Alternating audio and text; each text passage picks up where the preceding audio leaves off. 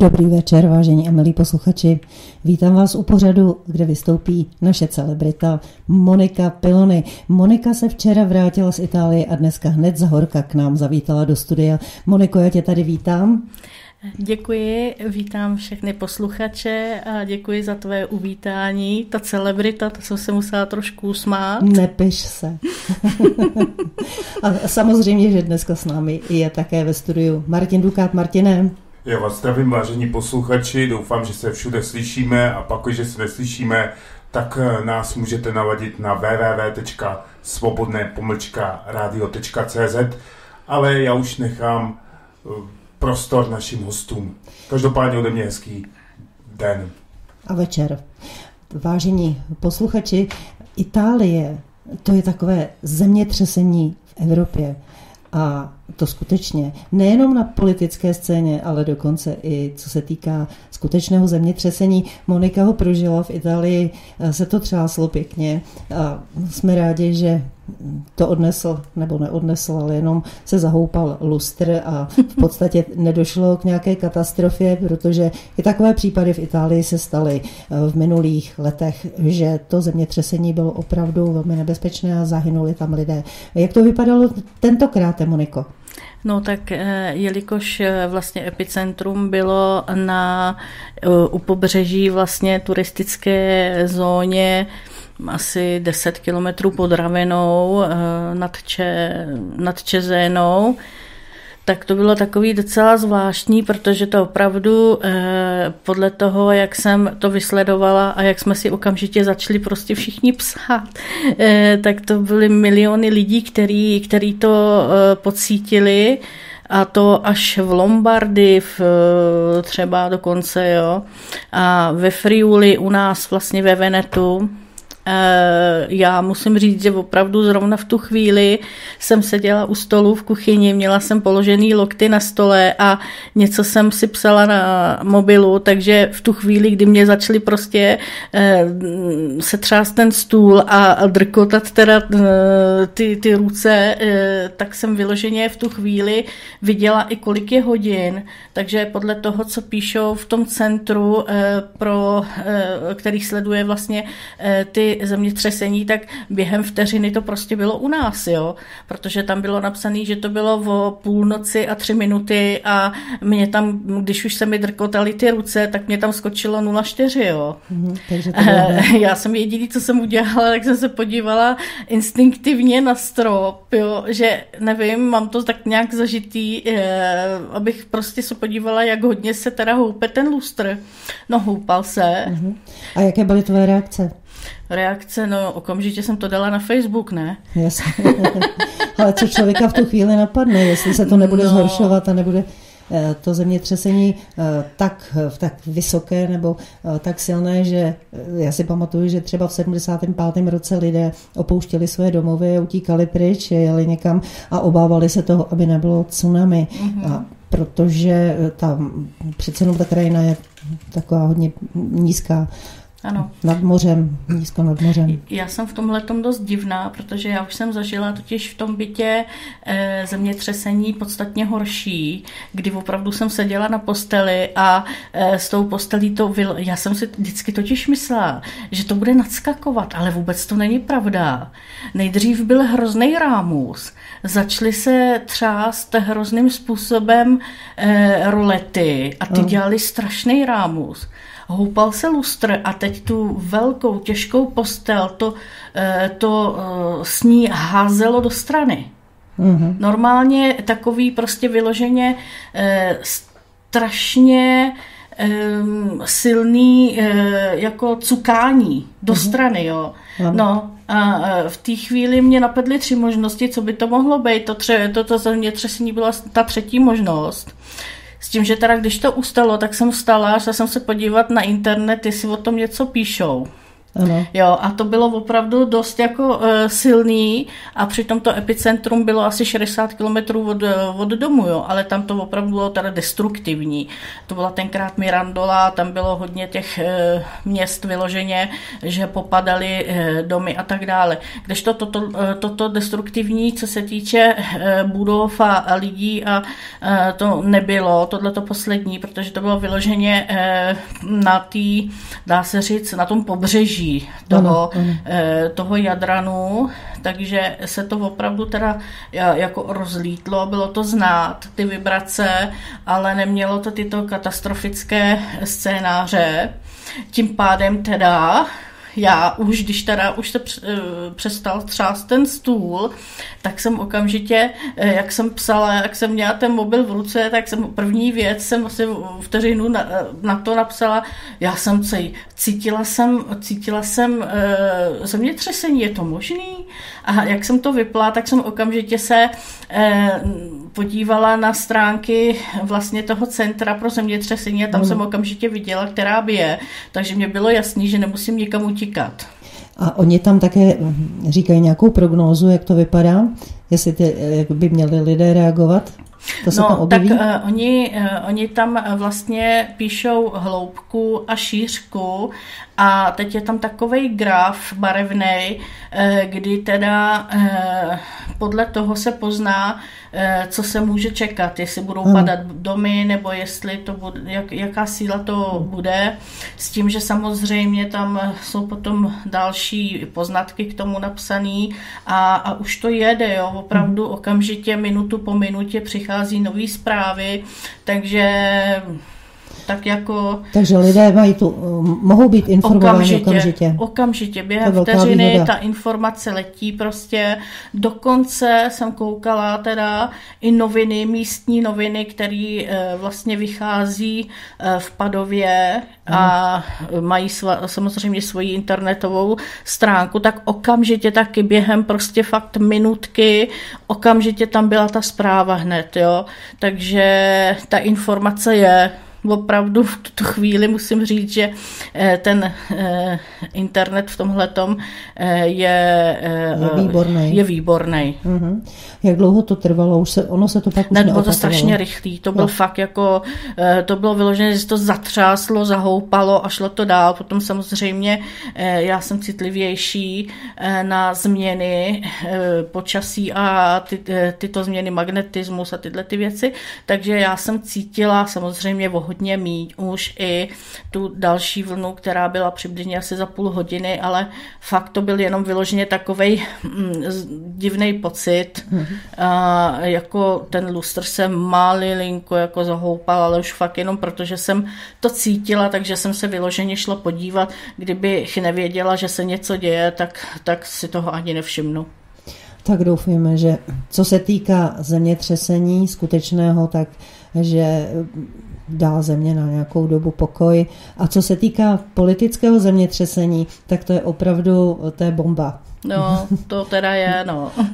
Já jsem chtěla zmínit eh, situaci, kdy, eh, kdy Salvini, eh, šéf Légy, odletěl do Polska.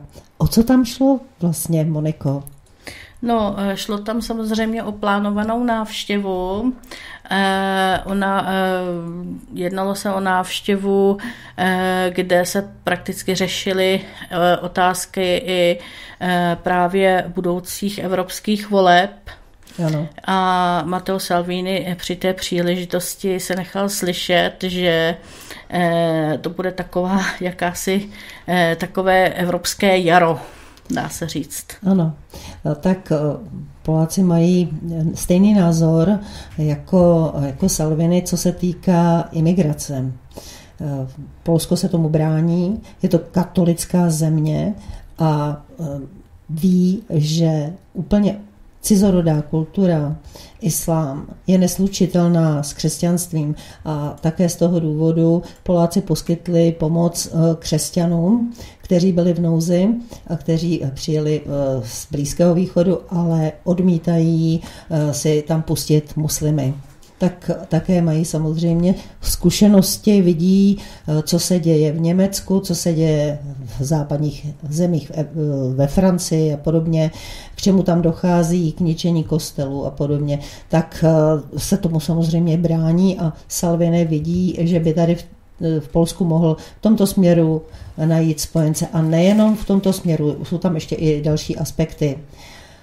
Kromě Polska je tady ještě Maďarsko, s Orbánem má Salvini také dobré vztahy, také se setkali a myslím si, že taková ta idea eh, samostatného suverénního státu na národní bázi je oběma velmi blízká.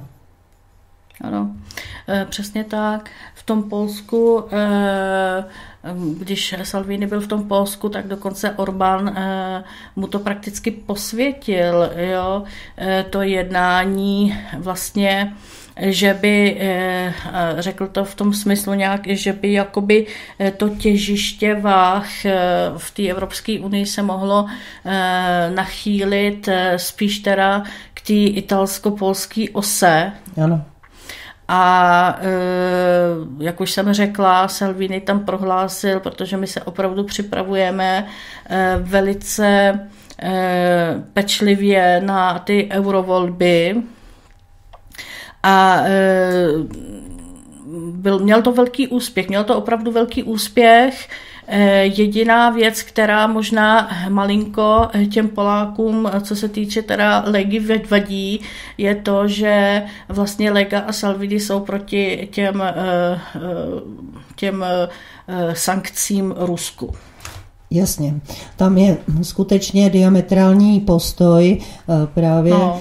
k sankcím, kdy Salvini tvrdí o tom, že to je vlastně kontraproduktivní, když to Poláci jsou silně Eh, řekla bych, rusofobní.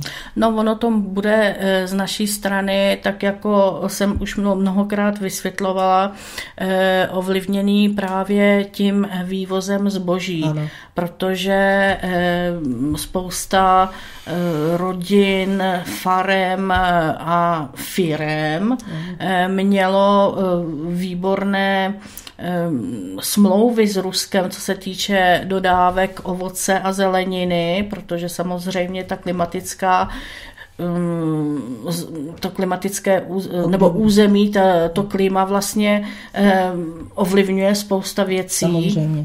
A, a tím pádem eh, vlastně eh, se, eh, dá se říct, zrodili noví nezaměstnaný tím, mhm. těma sankcema v té Itálii a samozřejmě ty lidi, kteří měli ty smlouvy, tak ty už nepotřebovali si hlídat ten trh okolo sebe, protože e, měli vyloženě e, tu práci pro leta jistou. Ano, ano. A takže oni opravdu zůstali prostě na dlažbě. Co si budeme povídat, tak Rusko je obrovský trh, který ano. měl zájem o produkty z Itálie. A Itálie tam měla velké odbytiště a nejenom Itálie, i další státy v Evropě přišly právě o tyto velmi důležité trhy díky sankcím, které tady zavedly Eh, úplně podle mého názoru naprosto hloupě a jenom proto, že jsou to vazalové Spojených států. Spojené státy ty se v tom přímo vyžívají, aby mohly sankce udělovat. Je to jejich hobby, takže evropské země následovaly Evropská unie a samozřejmě, že se to projevilo na tom, že se tím pádem snížila zaměstnanost lidí i v Itálii. Je to Všechno se vším souvisí, ano. jo, protože e, jsme zase u toho, spousta lidí říká, e, že e, je, se jich politika netýká, ale sami vidíte, že se týká naprosto všech a zasahuje nám všem do života. E, toto byl vyloženě markantní pří, příklad, ano. kdy teda to postihlo opravdu rodiny zemědělců třeba. Ano, samozřejmě v tom Rusku mají možnost si tyto potraviny, to zeleninu, ovoce a tak dále dovést z jiných zemí. Je to naprosto kontraproduktivní. Ano. Rusové prostě se obrátí na někoho jiného a země, které tam dodávali, přijdou o odběratele. Hloupé. Ano, ano, přesně tak. Asi tak, ale co se stalo vlastně v době, kdy byl Salvini v Itálii, teda v Polsku, co se stalo v Itálii? No a teď eh, se dostaneme eh, k mému oblíbenému tématu, ne oblíbenému, protože by se mi líbilo, eh, že se toto děje, ale je to téma, které sleduji, ano. dá se říct denodenně a na které upozorňuji, vlastně dá se říct od toho roku 2015 už, že jo, jak to no. letí. A, to bylo článku. bylo to období, kdy vlastně ve středozemním moři křižovaly vody dvě neziskovky. Jedna se jmenuje Sea-Watch s lodí Sea-Watch 3, a pak tam byla neziskovka CIA. Obě dvě to jsou německé neziskovky, každá z nich má jinou jinou vlajku. Ano. Eh, dá se říct, že i přes eh, zákaz vstupu eh, na území Itálie, nebo i do územních vod, dá se říct, a přístavů, a přístavu. tyto neziskovky i potom, co viděli, jak dopadl Aquarius a další lodě, že opravdu prostě ty přístavy jsou stále těm neziskovkám zavřené, se vydali teda k těm libýským břehům, a aby šli nakládat. Samozřejmě, co se nestalo, naložili a mysleli si, že mají vyhráno, že ukážou pár fotek, eh, kde bude třeba malé dítě nebo nějaká žena a ukážou je tam, aby prostě lidi hm, najednou aby chtěli dojali. všichni, ano, aby, aby lidi, aby jim je bylo líto a tak dále, aby prostě eh, se chtělo, na city. působili na city. To neznamená, že by samozřejmě eh, nám byly tyto osudy těchto lidí eh, jedno, ale ty lidi prostě tímto způsobem nemají absolutně eh, vyjíždět, protože eh, to je všechno Eh, jenom podpora nekalé činnosti. E, tak, takže eh, No a ono to tentokrát trvalo docela dlouho, kdy teda celá Evropa mlčela, ano. to mluvím, celá Evropa mlčela a oni tam už byli na tom moři nějakých, hm, dá se říct asi 17 nebo 18 dní do konce, jenomže ono se zhoršilo počasí, takže oni opravdu tam měli problém zůstat, oni křižovali pod Maltou. Jo, takže ta Malta nakonec jim teda dovolila, aby se s tou lodí uchýlili do, je, do maltských vod, ale ne do přístavu.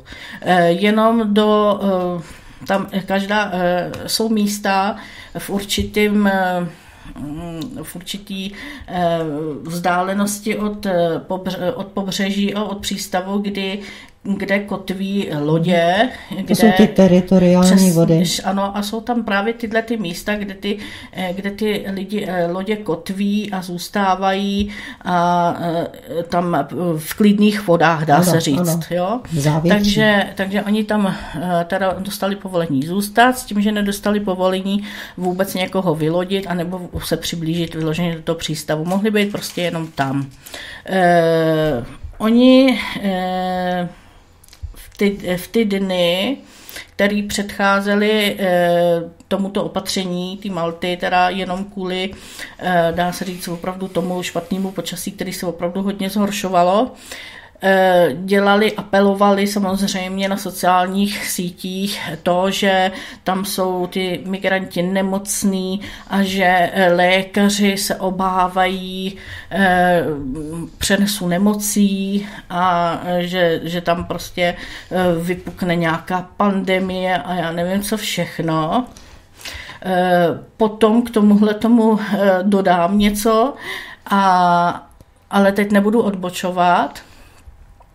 Takže, eh, takže prostě Uh, už nevěděli, jakou, jakou zbraní vlastně eh, působit, působit na vydírání Evropy, protože to bylo vyloženě mhm. vydírání Evropy. No. S tím, že samozřejmě do té doby, než teda oni se dostali do těch malských vod, celá Evropa mlčela. Samozřejmě, kdo nemlčel, byli neziskovky, a takzvaní sluníčkáři, no několik třeba těch italských Levičáků? Levičáků, já jsem chtěla říct dobro s a, a ano, pár teček, taky. že jo? Ty taky. Jo, ale jsem se teda jako... Mm, Jsi slušná. Jsem, já jsem no. slušná, no, přesně. Já se to budu teda jenom myslet. A e, no, a, a co teď? Salvini odjel do Polska. Ano. V světě div se, jak jsem to napsala, kocour není doma a myši mají pre. Takže Eh, den předtím, než on odjel, večer, večer, eh, premiér Conte se nechal slyšet teda jako, že eh, je jasný, že teda se ne, nemají jako přijímat lidi, no ale když už teda jako je tahle ta situace, když už se to teda najednou stalo, takže by jsme si je teda jako v Itálii měli vzít. Eh, dva dny předtím, to bylo přímo nějak o víkendu, to zase na svých eh, na sociální síti, na, svý Facebook, na svém facebookovém profilu Di Maio z Hvězdiček zase eh, prohlásil teda jako, že jo, no to jako prostě je, je špatná situace, no. že jo, jako, no ale tak jako měli bychom si teda všechny děti a ženy vzít k sobě, stejně. No. Salvini co řekl? Neziskovky vykládat v Itálii nebudou. Čím víc se přijímá, tím víc lidí vyjíždí a tím víc jich na moři umírá. A v tom má naprostou pravdu. Ano, to je argument. Když, ano, to je argument, který se dokonce ukázal i o tomto víkendu a v pátek o tom řeknu potom. Ano. Nicméně eh, v Salvini se dozvěděl při jednání eh, vlastně v tom Polsku, že teda Kunte že jako za jeho zády, je, je, za jeho zády prostě se zavázal teda, že si, že si taky někoho vezmeme. Jo, já to řeknu, vezmeme jako za Itálii. No, no. Jo, protože potom teda se tam nějakým způsobem e, řeklo, no dobře, takže jako Holandsko a Německo, že si někoho veme, někoho si vezme, bere vždycky to Španělsko, že jo, a tak dále. Irsko si někoho bere. A, tak ale Salvini opravdu v tu chvíli vám můžu říct, byl hodně, ale hodně naštvaný, to opravdu, tak to byl podraz, ano, podraz. vyloženě. A e, hned jak odpoledne, no, přiletěla si zpátky v 6 večer nějak, e, nebo odlítal v 6 večer a okamžitě hned na ten samý den večer v 11 hodin si zavolal e, jak Conteho, tak Di Maja. A řešil to teda. Nenechal si vyloženě jako ty e, nohy prostě dát na hlavu, jak se říká v Itálii. Mm-hmm. A řešil to s tím, že samozřejmě e, už nemohl teda říct, že e, nebo úplně nemohl zrušit Conteho, protože, jak už jsem to vysvětlovala víckrát, nemůžeme si dovolit v tuto chvíli nechat padnout vládu. Prostě máme natolik e, důležitých e, zákonu, který potřebujeme uvést do reality, že v tuto chvíli můžeme sem tam akorát opravdu spolknout nějakou tu ropuchu a hledat nějakým způsobem nějaký eh, Komprom- řešení a kompromis. To znamená, že v tu chvíli Salvini řekl tak, eh, já jsem nechtěl přijímat Pocalu tenkrát jste mi poslali loď eh, z nezisko, neziskovky, to bylo nějakých 450 lidí, ale já jsem prostě řekl, že v žádném případě ne.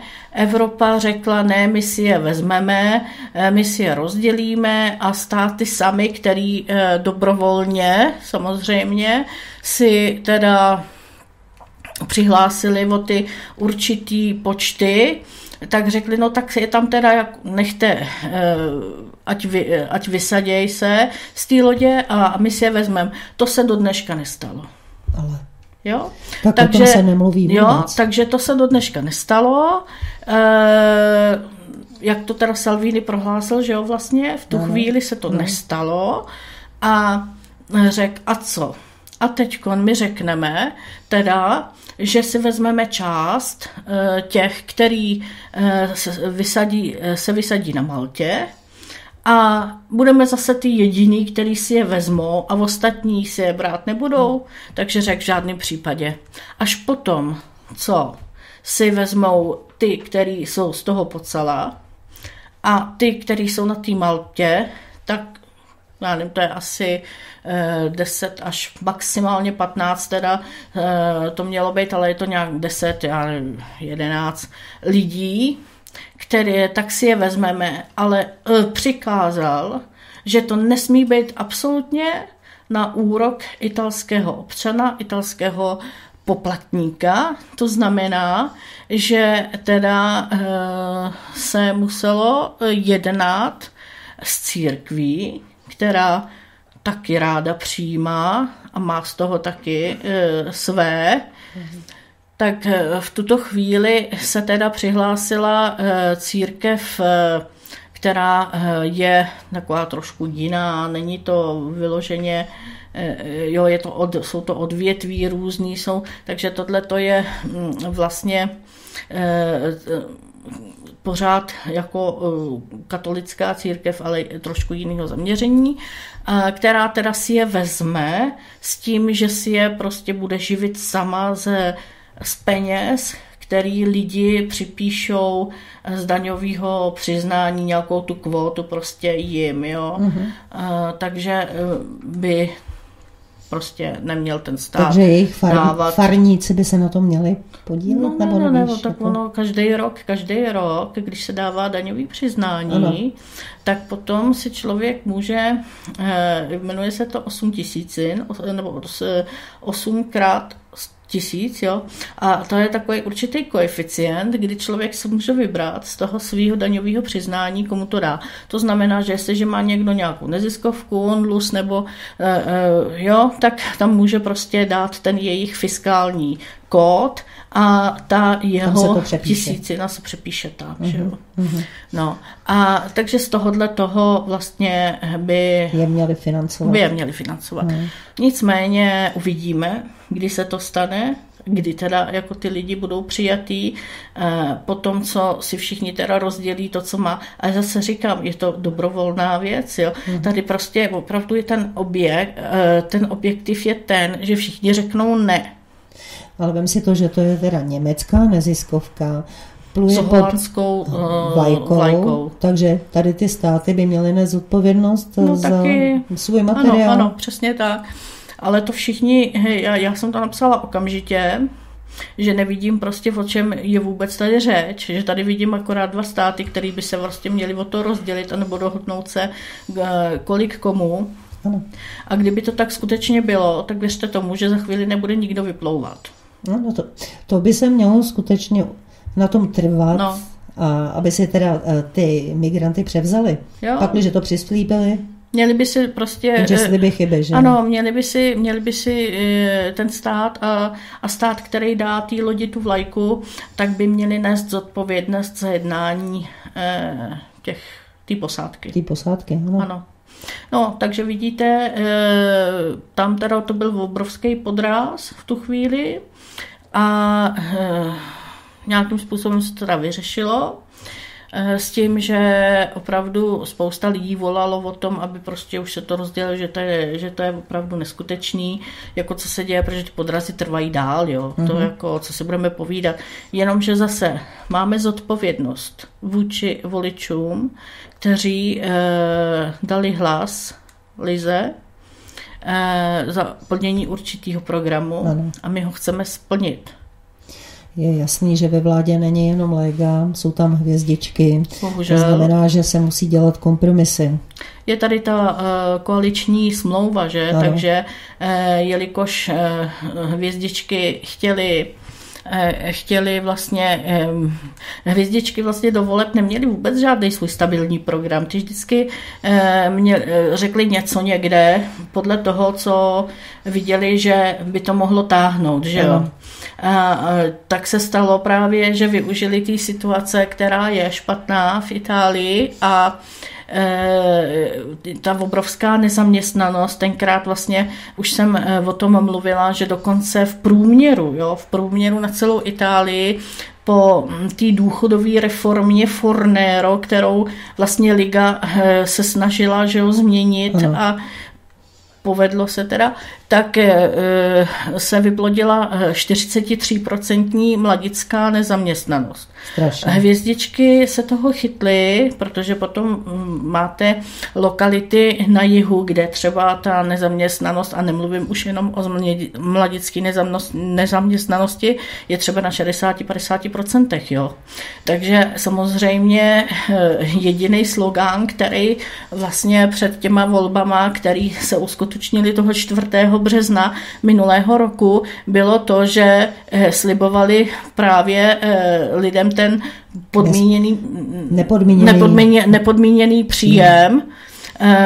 A, a to všem v, ve velké výši a, a i hned a, a, a bez problémů, jo, takže si vemte, že teda prostě lidi, který, který fakt nemají žádný peníze a e, práce není, no tak e, ve směs to jsou i lidi laxní, co se týče politik, e, politiky, tak si řekli, no tak jako zkusíme to, buď to vyjde, nebo to nevyjde, že jo. Mm, jasně. Jako stejně jim... To byla jediná motivace, proč Jediná motivace, volbám. prostě peníze, takže peníze lidí, kteří opravdu ty peníze nemají, peníze lidí, kteří e, jsou chytrý, který, nebo spíš vychytralí, chci říct, ano. nebudeme urážet chytrý lidi, že jo. Jasně. Vychytralec je něco jiného.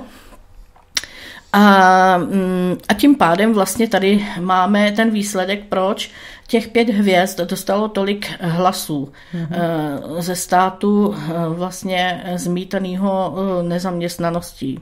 Ano. Jo, takže tohleto byl program pěti hvězdiček, ten nepodmíněný příjem a my jsme měli prioritu vlastně takhle, abych to řekla. Hvězdičky, nepodmíněný příjem, to znamená prác, peníze bez práce. Ano lega eh, zrušení eh, důchodové reformy Fornero, která vyplodila mladickou nezaměstnanost, nezaměstnanost jako takovou samozřejmě, eh, která je spojená i vlastně s nízkou konkurenceschopností na trhu v rámci euro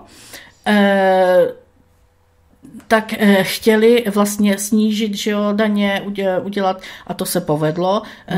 zavést splošnou daň 15% do eh, určitých mezí že jo, a, a tak dále, aby, se, se, aby ten pracovní trh se znova rozjel, ano. takže aby všichni měli možnost začít pracovat a, a ty peníze si moci vydělat. Takže tady je ten rozdíl mezi tím, jak e, pracují tyto dvě strany. Mm-hmm. Já ještě k té důchodové reformě jsem chtěla říct, že v současné době by lidi měli mít možnost odcházet do důchodu po odpracování minimálně 38 let ve 62 Přesně letech tak. a předtím to bylo v 67 a dokonce v některých případech pracovali ještě déle, ano. to znamená, že zabírali mladým místa. A tím pádem právě a zvyšovalo to jo, nezaměstnanost. A, ano, přesně tak. To právě eh, spousta mladých se ze začátku ozývalo a jako co my, kterým nám je 18 let nebo 20 let, co my máme, eh, jak, nás se přece nějaká důchodová reforma netýká, ale vidíte, týká. No, týká se přímo, protože jestliže se neuvolňují pracovní místa, tak eh, lidi, kteří ukončí svoji školní docházku, nemají kam nastoupit. Ale tenhle problém je i tady u nás, kdy skutečně lidé v důchodovém věku pracují, není možno je vlastně nechat odejít a zabírají místo na mladým. Takže i tohle to zvyšuje nezaměstnanost ano. i tady u nás.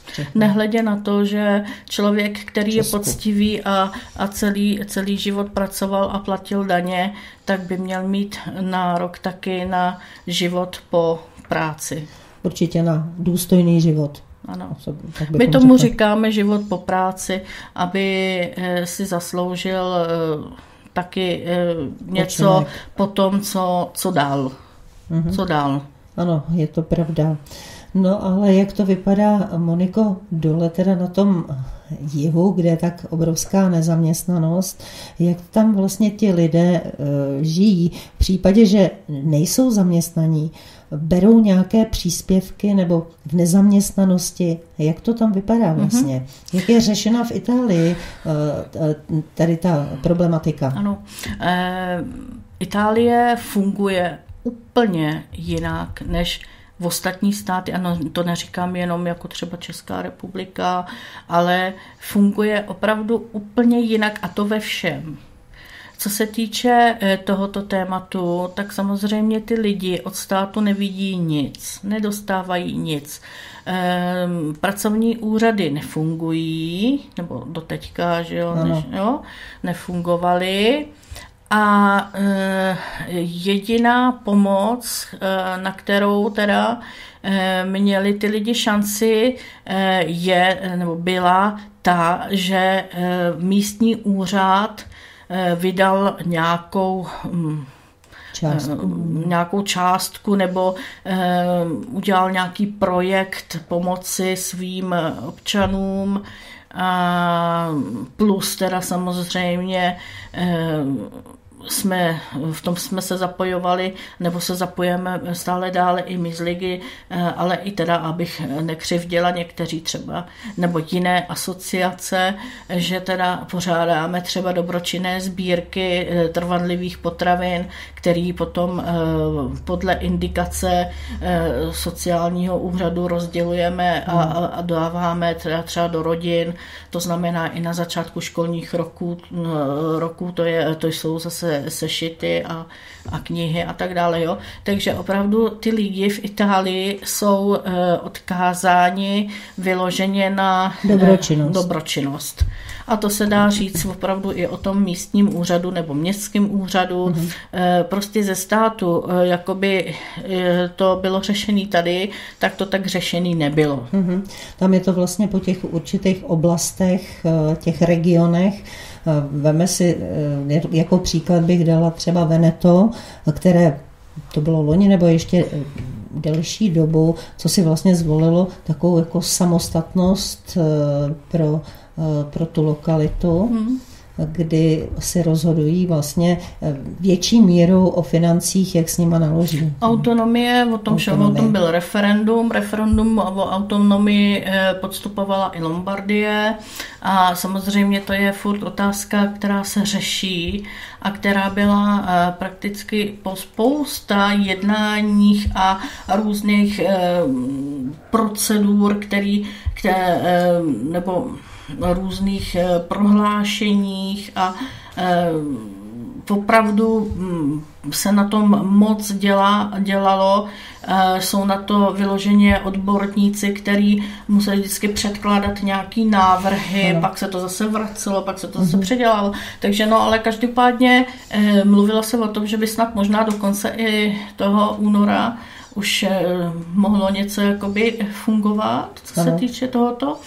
A mm, ano, samozřejmě potom je to úplně o něčem jiným, když ten region si může hospodařit eh, a nakládat teda eh, s daněmi eh, svých občanů tam, kde je potřeba a okamžitě. A nedostaneme se vlastně do těch situací, kdy třeba v tom Venetu teda nejsou peníze na nejsou peníze, no. ne, ale tak jako tam se jedná hlavně o okamžitou situaci, to znamená přírodní katastrofy. Uh-huh. A my je tam máme prakticky skoro každý rok už, uh-huh. že jo, teď byly vlastně ty uragány, eh, vítr strašný, eh, nebo dokonce i tornáda tam máme, jo. A teď jak jsme to, jak to řešíme? Řešíme to sami, řešíme to mhm. na bázi teda toho, že civilní obrana vydá Eh, nebo založí účet, kam my všichni, kdo chce, pošleme sms s tím, že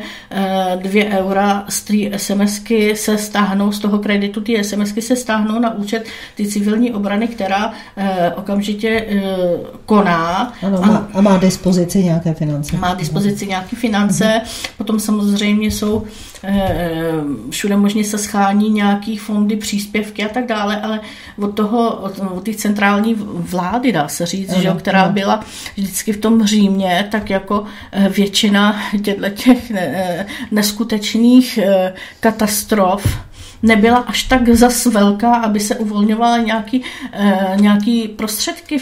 Ale teď si vemte, že eh, ve střední Itálii na horách jsou lidi, kteří ještě nemají kde bydlet, po zemětřesení, které bylo, které bylo třeba před dvěma lety, tam jsou lidi normálně v karavanech ještě dneska. Ta vláda minulá vůbec těm lidem nepomohla. Ano, ano. Vůbec se to prostě neřešilo, akorát si tam udělali procházku, že jo, aby viděli, jako, že tam jsou na místě, že na to myslej. Eh, Honem se přes, eh, přemístili migranti do nějakého jiného centra, Ano. že jo. A ty lidi, kteří tam žijou, tak ty prostě byli zanechaný. Sem tam tam někdo přišel, samozřejmě s kamerama, s novinářema, aby bylo vidět, že on tady byl znova, ale nic se nedělo. No to je přímo opovrhování. Teď zrovna, teď se, ano, teď se zrovna o tom mluvilo, jak v tom Rigopiano vlastně byly za, zavalení ty rodiny eh, a bylo tam spousta mrtvých, tak eh, vůbec nic se do teďka nedělo. Eh, přijel tam Salvini a najednou našel prostě finanční finance, který, který dal k dispozici teda eh, těm lidem a těm obětem, aby, aby mohli znova žít. Ano. Jo, nebo těm pozůstalým těch obětí, teda, aby nějakým způsobem měli kde, by, kde, kde, aby měli kde vůbec bydlet, že jo? Nebo, jo, e, protože celá tato oblast vlastně, oni přišli o všechno, ty lidi, a mm, jako je to jenom o tom chtít, protože když se chce, tak ono to fakt jde, nejde to třeba hned, ale jde to, jde to, něco se dá udělat, dá se udělat třeba něco. Jo, nedá se to třeba vyřešit najednou celý. Jako třeba ta důchodová reforma. Je tam kvóta 100, ale objektivem je kvóta 41. Ale teď, aspoň v tuhle tu chvíli, mají milion lidí šanci na to odejít důstojně do důchodu.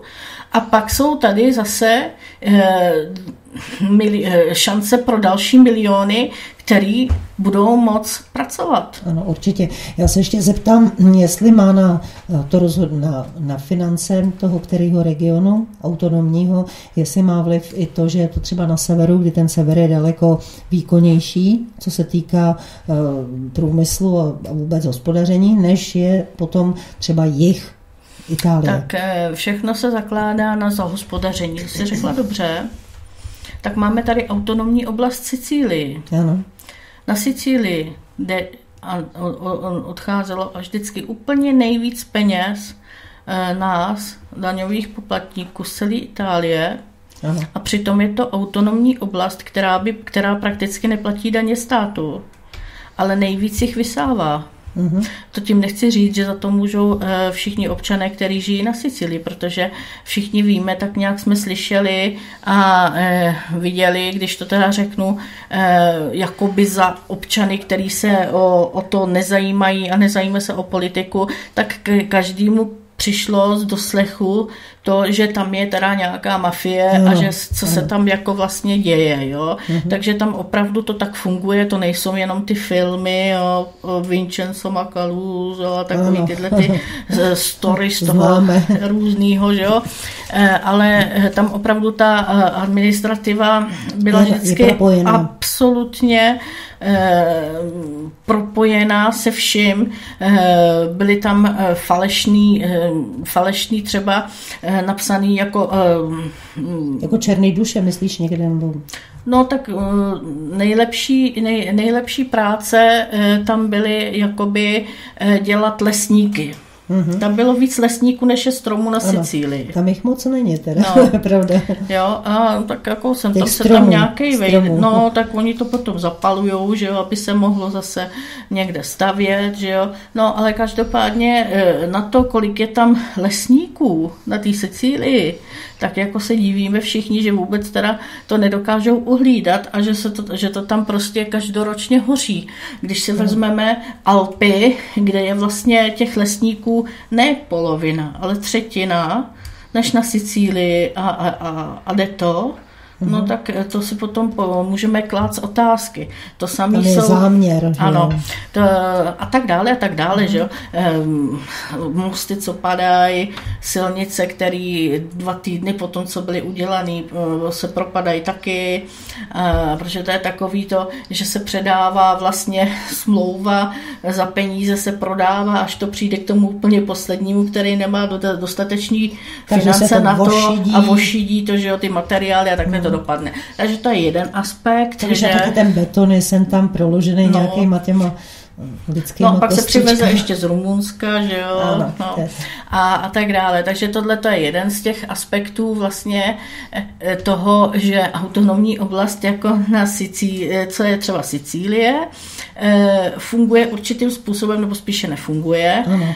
Pak jsou tady autonomní oblasti, jako je Friuli, Venecia Giulia nebo Trentino Alto Adige a tam to funguje úplně jinak, že mhm. tam je to prostě na, na jiný bázi, Eh, třeba v tom Trentínu, eh, to je zorganizovaný pěkně, mm, co se týče studentů třeba, že tam mají v té autonomní oblasti možnost eh, dopravy zadarmo, protože je to většinou horská oblast, mm. takže samozřejmě studenti dojíždí vlakama, autobusama, a takže nemusí platit, nemusí platit tu dopravu, dostávají snad dokonce učebnice e, zadarmo, to třeba jinde ne. Mm-hmm. A jsou tam další jiné podmínky, eh, třeba jako podpora, když někdo chce třeba eh, si postavit dům, tak stačí, když Eh, si nechá eh, odsouhlasit, eh, udělat, nechá si udělat projekt, nechá si samozřejmě to odsouhlasit od stavebního úřadu a všechno, když má teda všechno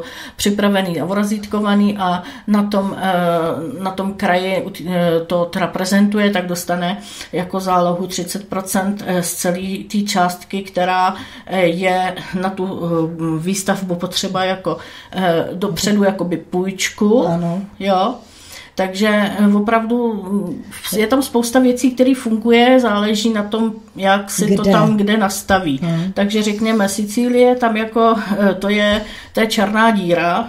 Ano. Kdežto, kdežto eh, na severu to je to je trošku o něčem jiném. Mm-hmm.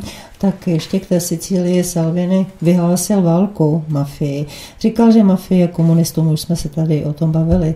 A té, při té příležitosti bych zmínila toho, jak on umí jezdit s bagrem. Dobře. No, on si tam do toho bagru umí setnout. to je jenom taková.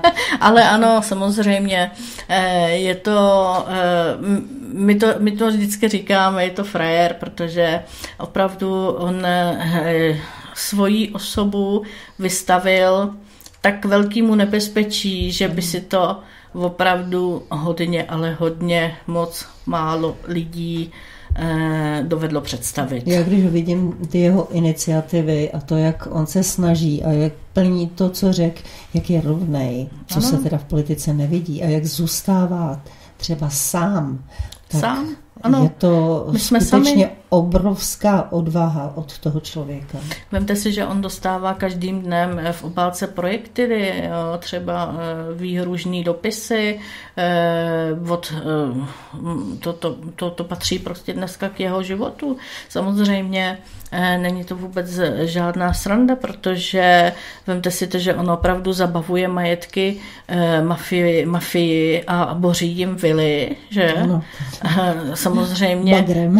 Ano.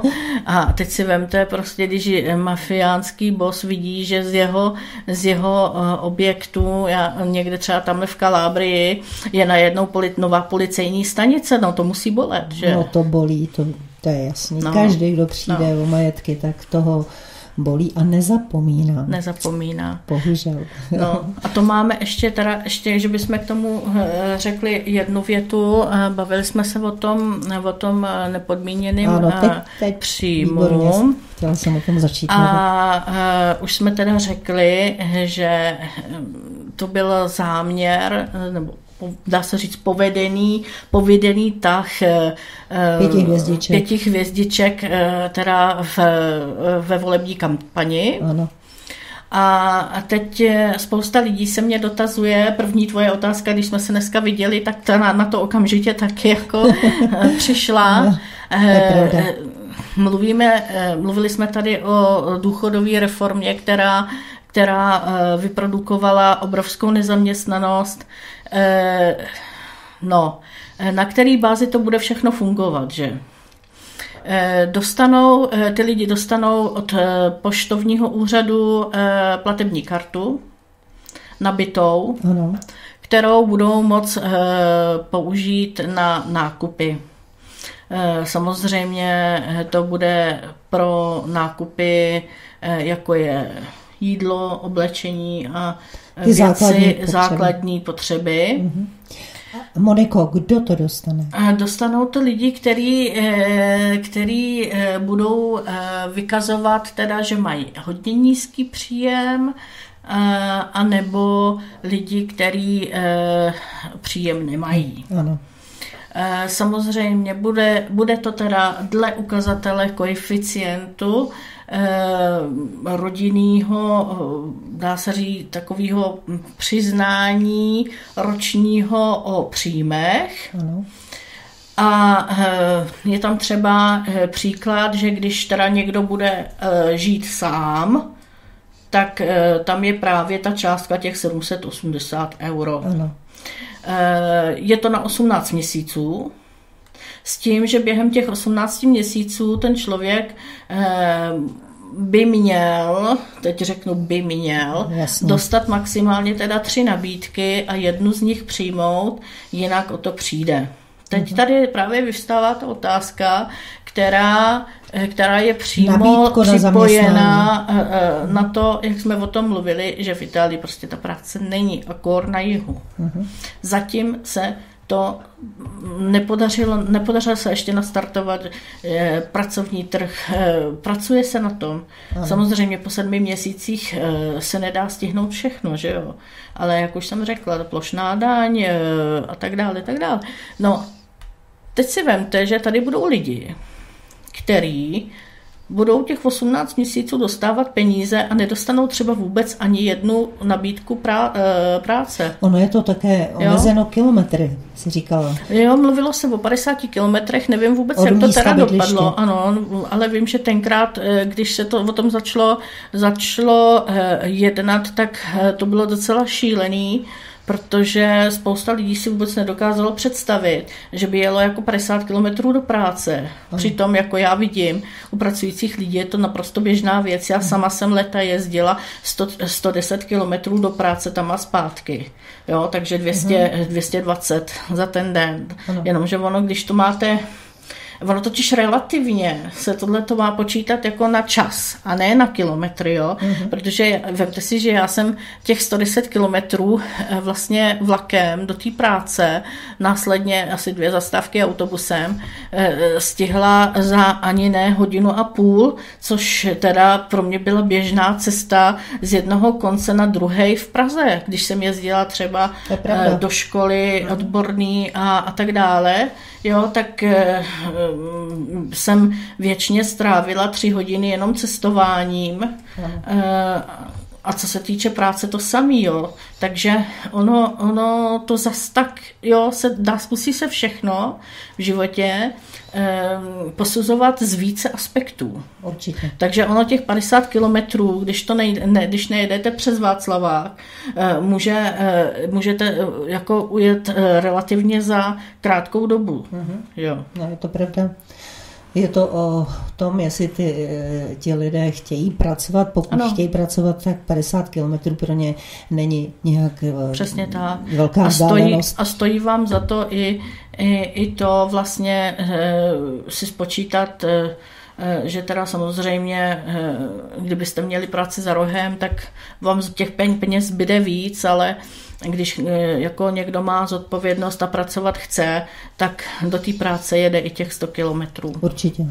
Takže to máme tady ten aspekt e, vlastně lidí, kteří samozřejmě jsou lidi, kteří za nic nemůžou, opravdu nemají možnosti, snaží se a chtěli by pracovat, takže samozřejmě ta pomoc e, pro ně je více než důležitá. Pak jsou tady lidi, kteří samozřejmě na tom budou chtít určitě parazitovat, to je stoprocentní. E, nicméně, co se týče, ze začátku to vypadalo, že vlastně budou mít e, na to především e, nárok vlastně e, Rómové a migranti, No tak eh, nakonec eh, v těch jednáních eh, různých se teda docílilo toho, že aspoň teda to bude, že to bude teda vlastně limitovaný, že to bude pro lidi prostě, který mají, nemluví se tady o italském občanství, jo. Mluví se, mluví se o, o ne, tam se mluví jenom o tom, že musí mít trvalý bydliště po dobu deseti let. Trvalé bydliště. Ano, mluví se pouze o trvalém bydlišti. Uh-huh. Jo? Ano. Takže samozřejmě v tom, my do jsme, toho, do toho spadá tam... spousta spousta lidí. Mm-hmm. My jsme eh, četli, že, teda já jsem četla, eh, že eh, musí jako mít pobyt. No tak pobyt asi, dá se na to podívat, někdo tam může být na černo, že jo, tak toho se to netýká. Ale pak, když má trvalé bydliště, trvalé tak bydliště, jestliže má trvalé bydliště, tak v trvalé bydliště má samozřejmě i doklady. Jasně. Jo, a nemusí mít e, italské občanství. Já jsem své, e, mě když chtěli dát italské občanství v roce asi 94 a já jsem ho vůbec nežádala po nikom, tak e, vlastně si mě zavolali, jako že ho tam mám připravený, já jsem se úplně dívala, jsem říkala, já jsem po vás nic nechtěla. Jo, protože jsem věděla. Výjimka, výjimka. No ne, tak já jsem věděla, že když si ho vezmu, takže přijdu o to své. Jako hmm. jestli by mi ho chtěli dát a nechat mi i to moje, tak jako já s tím nemám problém, naopak, jo. Můžeš ale, mít několik občanství. No, ale v té době to nešlo. A pozor, ono i dneska tam je nějaká klauzule, jo. Ano. No, no, jo. Takže říkám, já nejsem nelegální migrant, že jo, já jsem byla vždycky a absolutně se všema se všema mm, Ty jsi přispívala legálníma. Do, přispívala do Já jsem tam byla vždycky prostě legálně kasy. a hotovo. tak jako eh, vždycky jsem eh, veškeré věci, které by se měly udělat, tak jsem je udělala, takže a nikdy jsem nebrala žádnou podporu, dokonce mm-hmm. i když třeba kolikrát byly chvíle, kdy třeba jsem musela změnit zaměstnání, protože třeba zaměstnavatel nebo práce, kde jsem pracovala, najednou už prostě nebyla, třeba zkrátka zkrachovali, nebo já nevím, jo, byli s tím, tohle to je prostě realita Itálie, mm. že ta práce je a najednou není, takže eh, jo, ale, ale, taky. ale stejně, taky. vidíte, jako mm, nebyla jsem prostě v té frontě eh, s tím šátkem na hlavě, a, eh, nebo, mm, nebo mezi, mezi nevím, jiným typem imigrace, abych žádala nějaký eh, neziskovky a sociálky, že já jsem ten chudák a, a tak dále. Jo. Takže to se nikdy nestalo hmm. a mhm. nestane. My jsme se tady také bavili před vysíláním o to, eh, kolik bere třeba v průměru, řekneme, sekretářka. Došli jsme k závěru, že to je různé, ale ty nám řekneš, jak, jaké to rozmezí tam je, hmm? No tak na jihu, na jihu, na jihu začátec, začínající sekretářka může brát 400 euro. E, jich střední Itálie to může být e, dokonce i 600 euro jestliže je zapracovaná a e, teď záleží zase pro koho dělá. Samozřejmě ano, ano. nemluvíme o sekretářce nějakého státního subjektu, jo, tak se může dopracovat na těch 900 euro. Samozřejmě, jestliže to je víc teda na sever, tak jako e, tam může mít těch 900 euro taky, 800 euro může mít, ale 1200 euro taky. Ano. A zase záleží vyloženě na tom, u koho je zaměstnaná. Hm. Tak já jenom jsem chtěla, aby naši posluchači měli takový, aby si udělali obraz o tom, jak e, jsou e, ohodnocovány sekretářky.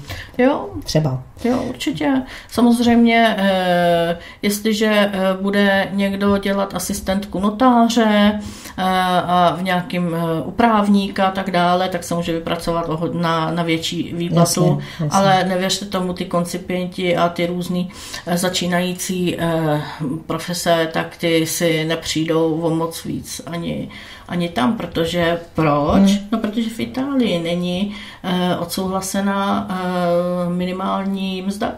Ano, a to je to, k čemu jsem chtěla, abychom se dostali. No, tam, to prostě není, uh-huh. což je zase, normálně by bylo v každém jiném státě eh, jedna z nástrojů výpočtu právě tý, toho nějakého příjmu uh-huh. anebo dávkách v nezaměstnanosti, uh-huh. že? protože to se nedá prostě vypočítávat jenom z jednoho titulu a jsme zase u toho, že něco prostě není hmm. ještě v pořádku. Právě mně se zdálo, že ta dávka je docela vysoká. Je, no. je, to, je, to, je to mnohokrát vyšší než některé důchody. Eh, také jsem eh, se tam dočetla v tom článku, že pak, že ti lidé jsou zaměstnaní a berou právě eh, takhle nízkou mzdu, třeba 400 euro, takže by se jim to mělo doplácet do výše ano. 780. Ano. To se bude doplácet samozřejmě, jestliže prokážou, že v té rodině, kde žijou, dohromady všichni eh, nepřesáhnou určitou částku, kterou hmm. oni vypočítali. Eh, teď nevím přesně, kolik to je na podle, podle, eh, podle počtu osob, ale jako základem je něco málo přes, 10, přes 9 tisíc euro ročně, ale podrobně to samozřejmě eh, zpracuji a dodám v písemné formě, protože ono, eh, když se o tom mluví, tak ono to vypadá velice zmatečně. Protože je to široký eh, problém. Je to, je to, je, ale ono, on, on to svým způsobem chaos i je, jako v té realitě. Jo. Uh-huh. Protože já si nedokážu představit, nejenom já, že eh, teď teda se bude moc žádat o to od března ano. s tím, že to bude eh, fungovat od dubna doteď nefungovaly ty pracovní úřad, ten nefungoval vůbec. Prostě nefungoval. A teď si teď prostě přemýšlím, jakým způsobem během těch tří měsíců oni chtějí jako e, zrekvalifikovat a e, nějakým způsobem vyškolit a zre, e, restrukturalizovat ten pracovní úřad. Dočetla jsem se, že během února to mají teda co dělat. Jo, dokonce února mají dají vědět, co se má dělat v březnu. Ano, ano co se ano. má dělat v březnu. Přesně tak. Takže to je docela chaotický. Jo, jo, jo. Tak jo. Vážení posluchači, my jsme dospěli do poloviny pořadu pořadu. My si teď trošku napijeme. Já vám doporučuji, abyste se také napili a za čtyři hodinky se uslyšíme. Takže zatím nashledanou. Krásný večer, vážení a milí posluchači. Vítám vás u druhé poloviny pořadu s Monikou Pilony. Moniko, ještě jednou, krásný večer. Krásný večer vám všem. A my budeme pokračovat. Témat je hodně. Podíváme se v této další části na evropské volby. Evropské volby a také na legu v Evropě. Jak to vypadá vlastně eh, s odnožemi Salviniho légy, třeba tady u nás nebo na Slovensku, protože já vím, že ty vlastně jsi hlavní koordinátorka.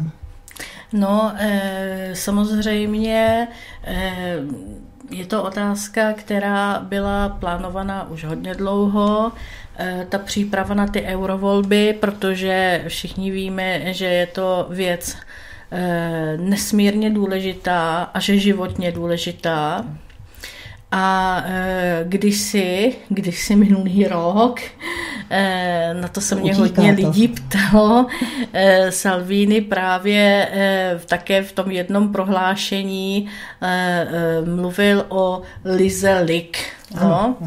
E, takže e, je zde program, který e, dřív existoval, program Ligy Severu e, ve, e, v cizině. Ano Liga Sever už není, je Liga jenom, že jo, tak eh, tento projekt tak nějak eh, po tomto předešlým vlastně projektu se jmenuje Liga ve světě.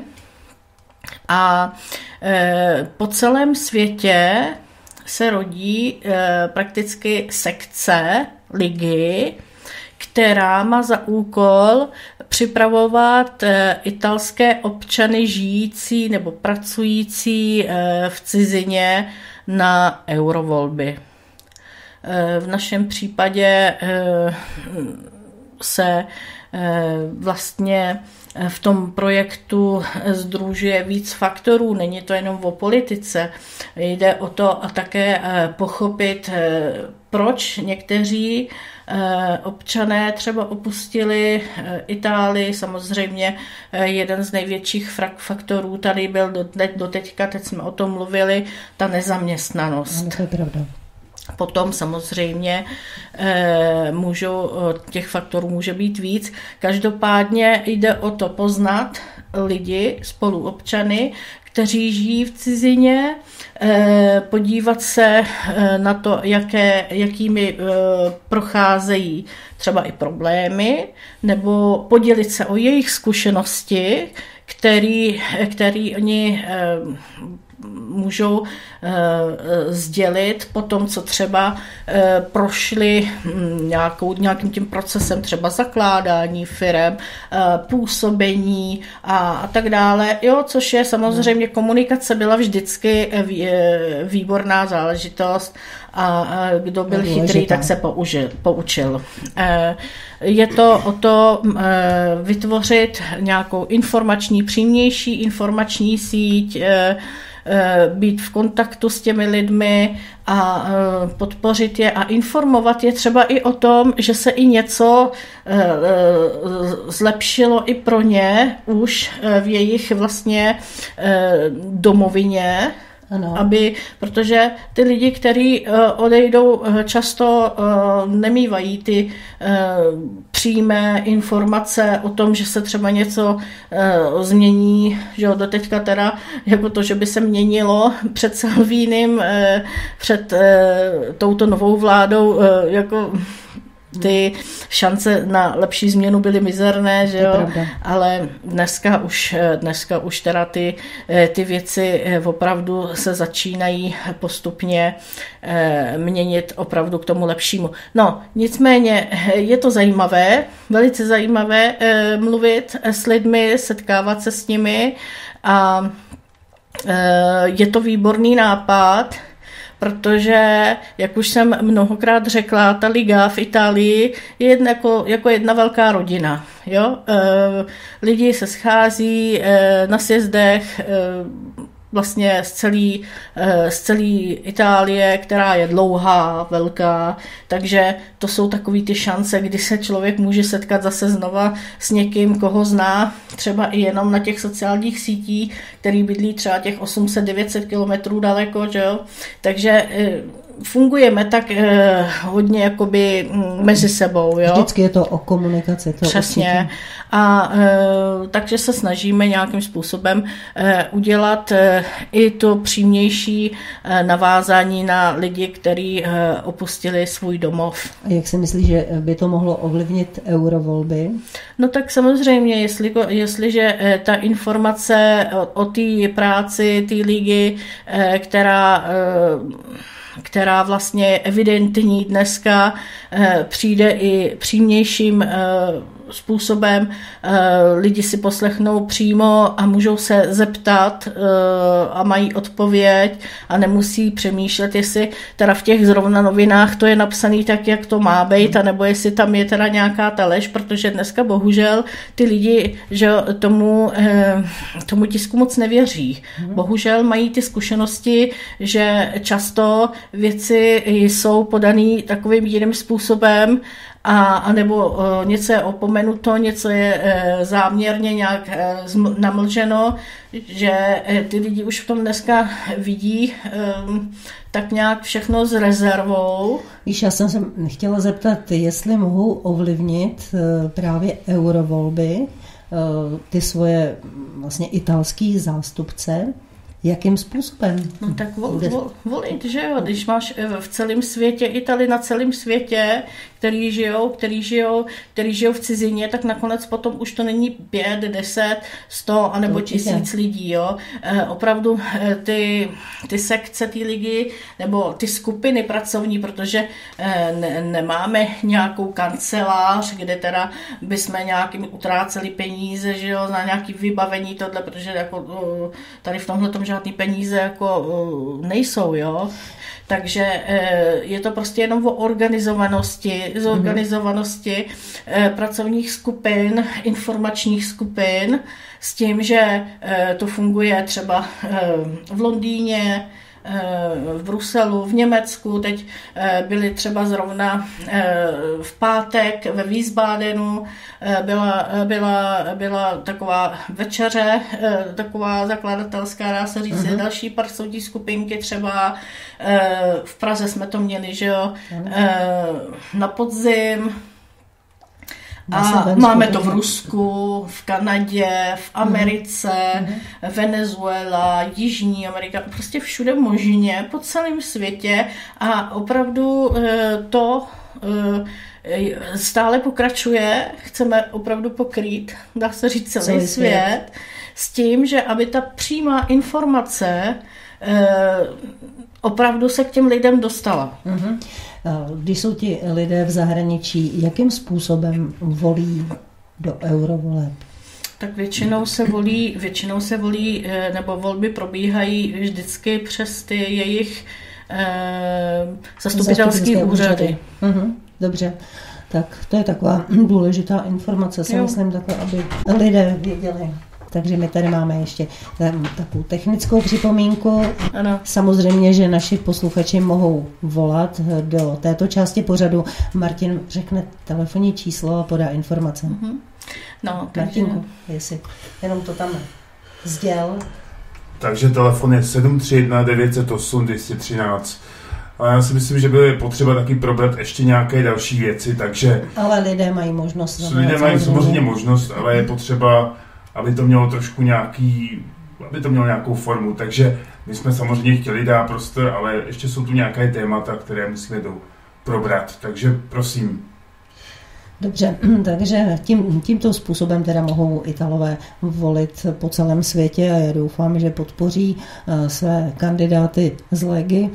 Já jsem, sice bych se možná neměla, ale uh, Salvini, Matteo Salvini byl europoslancem ale poté, co byl zvolen eh, do parlamentu, tak se vzdal této funkce, že? Ne, eh, v Salvini v roce 2014 eh, byl zvolen do Europarlamentu a dostal i funkci poslance, nebo byl zvolen i poslancem, takže on se v té době, v roce 2014, se vzdal samozřejmě toho, té funkce poslance a nechal si jenom jednu funkci ano. v Europarlamentu právě proto, aby, se, aby bojoval za domácí produkt. Uh-huh. Tak a my tady máme telefon, Martine. Ještě nemáme telefon, takže můžete mluvit zatím. Dobře. Eh, já jsem eh, měla možnost sledovat jeho brilantní projev a skutečně to tam nakládal eh, pěkně z ostra a mluvil velmi pravdivě. Uh-huh. A mluvil o té situaci, která je v Itálii Myslím si, že to bylo velmi úspěšné tehdy vystoupení a poučné. A škoda, že těch poslanců takhle euroskeptických eh, tam nebylo víc, takže je to eh, letos na nás, abychom mm-hmm. pomohli eh, trochu této, tomuto trendu, který on tam a i další poslanci, ale je jich tam stále ještě velmi málo na to, aby mohli něco ovlivnit. Víte co, ono eh, důležitá eh, věc je ta, aby si lidi uvědomili, eh, co je to za druh politiky, kterou dělá ta liga, jejíž samozřejmě skvělý, nechci říct mluvčí, ale představitel je teda Matteo Salvini, který umí oslovit, na jaký, co vlastně, jakým způsobem funguje. To je za, anebo na čem, na čem nám záleží. Že jo. E, jde o to, že my se staráme o to, o potřeby lidí, lidu. Proto je taky e, vlastně už e, z těch voleb, z toho března, kde byl vlastně ten, to heslo prima l'italiani, nejdřív Italové. Ano, no. samozřejmě, to je správně. Každý politik nebo každý představitel ve své zemi musí upřednostňovat vlastní občany a pro ně dělat, teď oni ti občané ho platí a proto Salvini pokaždý, když někdo mu chce něco vyčítat, že něco udělal, například teda s těmi migranty, tak ano. on řekl, on, on, on to připomene, ale mě platí Italové, aby jsem je zastupoval, abych konal v jejich dobro. A to já mám právo a povinnost dělat. Ano, právo a povinnost. Uh-huh. On to bere jako službu Italům, ano, no, to, co jim přislíbil. A to, tohle by mělo eh, existovat ve všech zemích. Potom by se mohli ty lidi opravdu mít hodně lépe a e, věřit taky v nějakou budoucnost. Ano, je to velmi důležité a musíme říct, že Matteo Salvini je opravdu důvěryhodný, tak eh, doufám, že budou i v Itálii kandidovat takoví poslanci, a u Legy se dá říct, že to tam teda funguje, kteří budou skutečně zastupovat Italii v Europarlamentu. Ano, eh, Matteo Salvini eh, zastupoval eh, zemědělce, drobné podnikatele, lidé, kteří vytváří peníze, hodnoty, hodnoty a život, realitu ano. a jsou součástí normálního života a ne života v jednom velkém baráku, který si myslí, že bude řídit celý svět. Uh-huh. A bude říkat, že je to moderní. Ano. Tak asi takhle. Samozřejmě, že tím, tímto způsobem vedení politiky on také podporuje, řekla bych, ne nacionalismus, ale eh, lidé jsou, lidé prostě se cítí být Itali a jsou patrioty. Mm-hmm. Samozřejmě. Ale eh, cesta k tomu, co je dnes, nebyla jednoduchá, protože to můžeme vidět i eh, zde, v naší republice, no. protože samozřejmě já mám, já mm, se e, pořád považuji za, za součást i, i, i této republiky. A e, v Itálii, e, když si to vezmete, kam až to došlo, kam až to všechno zašlo, kdy teprve ty lidi najednou zvedli ty hlavy a najednou začali vnímat tu realitu okolo nich. Ano, došlo to do takového e, stádia, že Prostě dneska si vemte to, že každý, kdo tam žije, má minimálně jednoho známého nebo je někoho z rodiny nebo sám sebe, který vlastně se setkal s nějakou formou nějakého buď násilí nebo ublížení, nebo, nebo přišel o práci, eh, a, a, nebo prostě nějakou jinou formu toho, že si najednou uvědomil, že se ho to týká, týká taky. Jo? Ale teď si vemte, že my jsme, eh, proč se musí dojít až tak daleko? Proč člověk musí vyloženě padnout do toho bláta, aby se z toho těžko, horko těžko zvedal? Proč se tomu nedá předejít? Ano, Karel Karel dobře řekl, rýt držkou v zemi. No. Tak asi tohleto, pak, že ty lidé si neuvědomí uh, realitu a to, uh, jaká budoucnost je tady pro lidi připravovaná, tak prostě tou pusou do toho bahna spadne. Ano, určitě. A e, hlavně e, za to má taky e, tam, kde jsme my dnes na, dle statistiky na 36% už, minule, když jsem tady byla, jsme byli na 32. Výborně. To bylo před měsícem. Ano. Máme 36% konsenzus, preferencí, preferencí a je to daný taky tím, eh, tou jednotou dneska už, jo. Oni, uh, už ty lidi se začínají jednotit s hlasem, netříští. Netříští to tak moc, mm. jako se to tříští tady. A uh, je potřeba uh, myslet na priority, na vyšší zájem. Aby... Co, Italové zvedli hlavu. Tak, máme tady telefonát, no. takže já bych ho zvednul. Hezký večer, Svobodné rádio, slyšíme se. Dobrý večer. Dobrý večer. Jsme ve studiu Moniku Pilony, Valenta Pavel u telefonu a já jsem se chtěl zeptat na jednu uh, takovou věc, protože mě to trápí hodně, a zvlášť tady u nás v České republice. Uh, a vlastně to je to potažmo i na Itálii.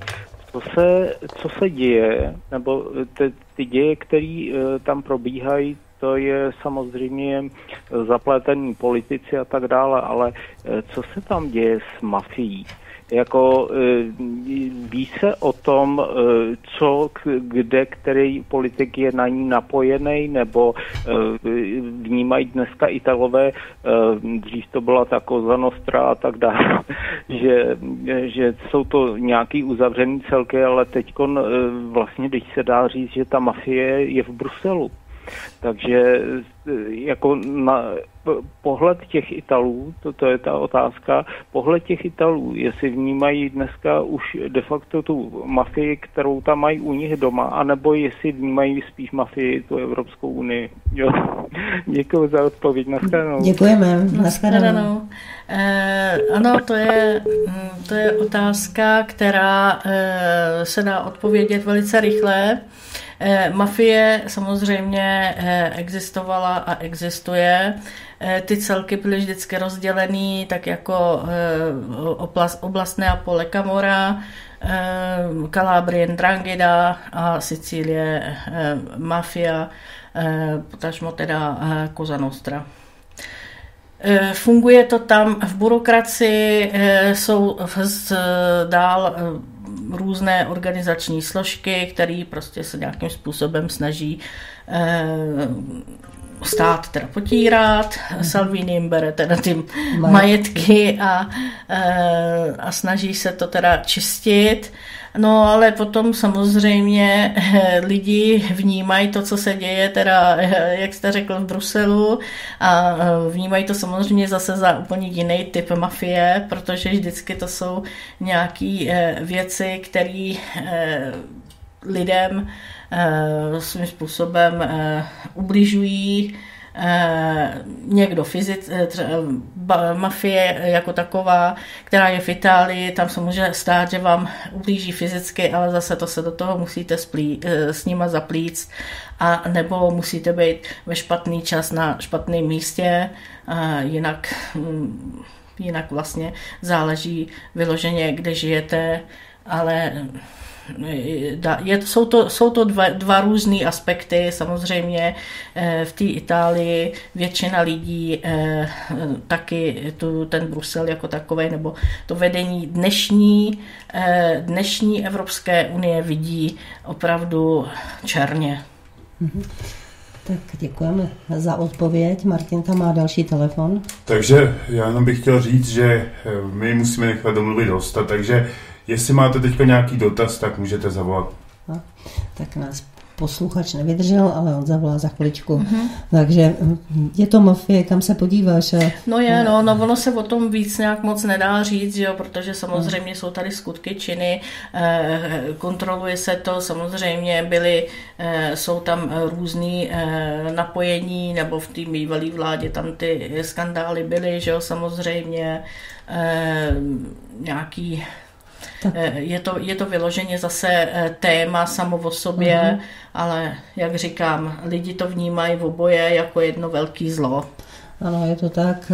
Podívejme se jenom na rozpočet, jaký s ním byl obrovský problém, aby ho schválili. Nakonec teda no. došlo k nějakému kompromisu, ale když se podíváme, že třeba Francie nebo Španělsko eh, překročují ten rozpočet a je to v pořádku, tady je jasně vidět, že vedení Evropské unie je proti Salvinimu a proti tady tomu trendu, eh, co nejvíc samostatné Itálie. Určitě ano, protože i ta bývalá vláda překročila eh, tu kvotu 3, 3%, ale brala se migranty, že jo? Mm-hmm. Brala se migranty, takže jako všechno bylo v pořádku. Mm-hmm. Jasně byla poslušná. Byla poslušná, takže nebyl problém.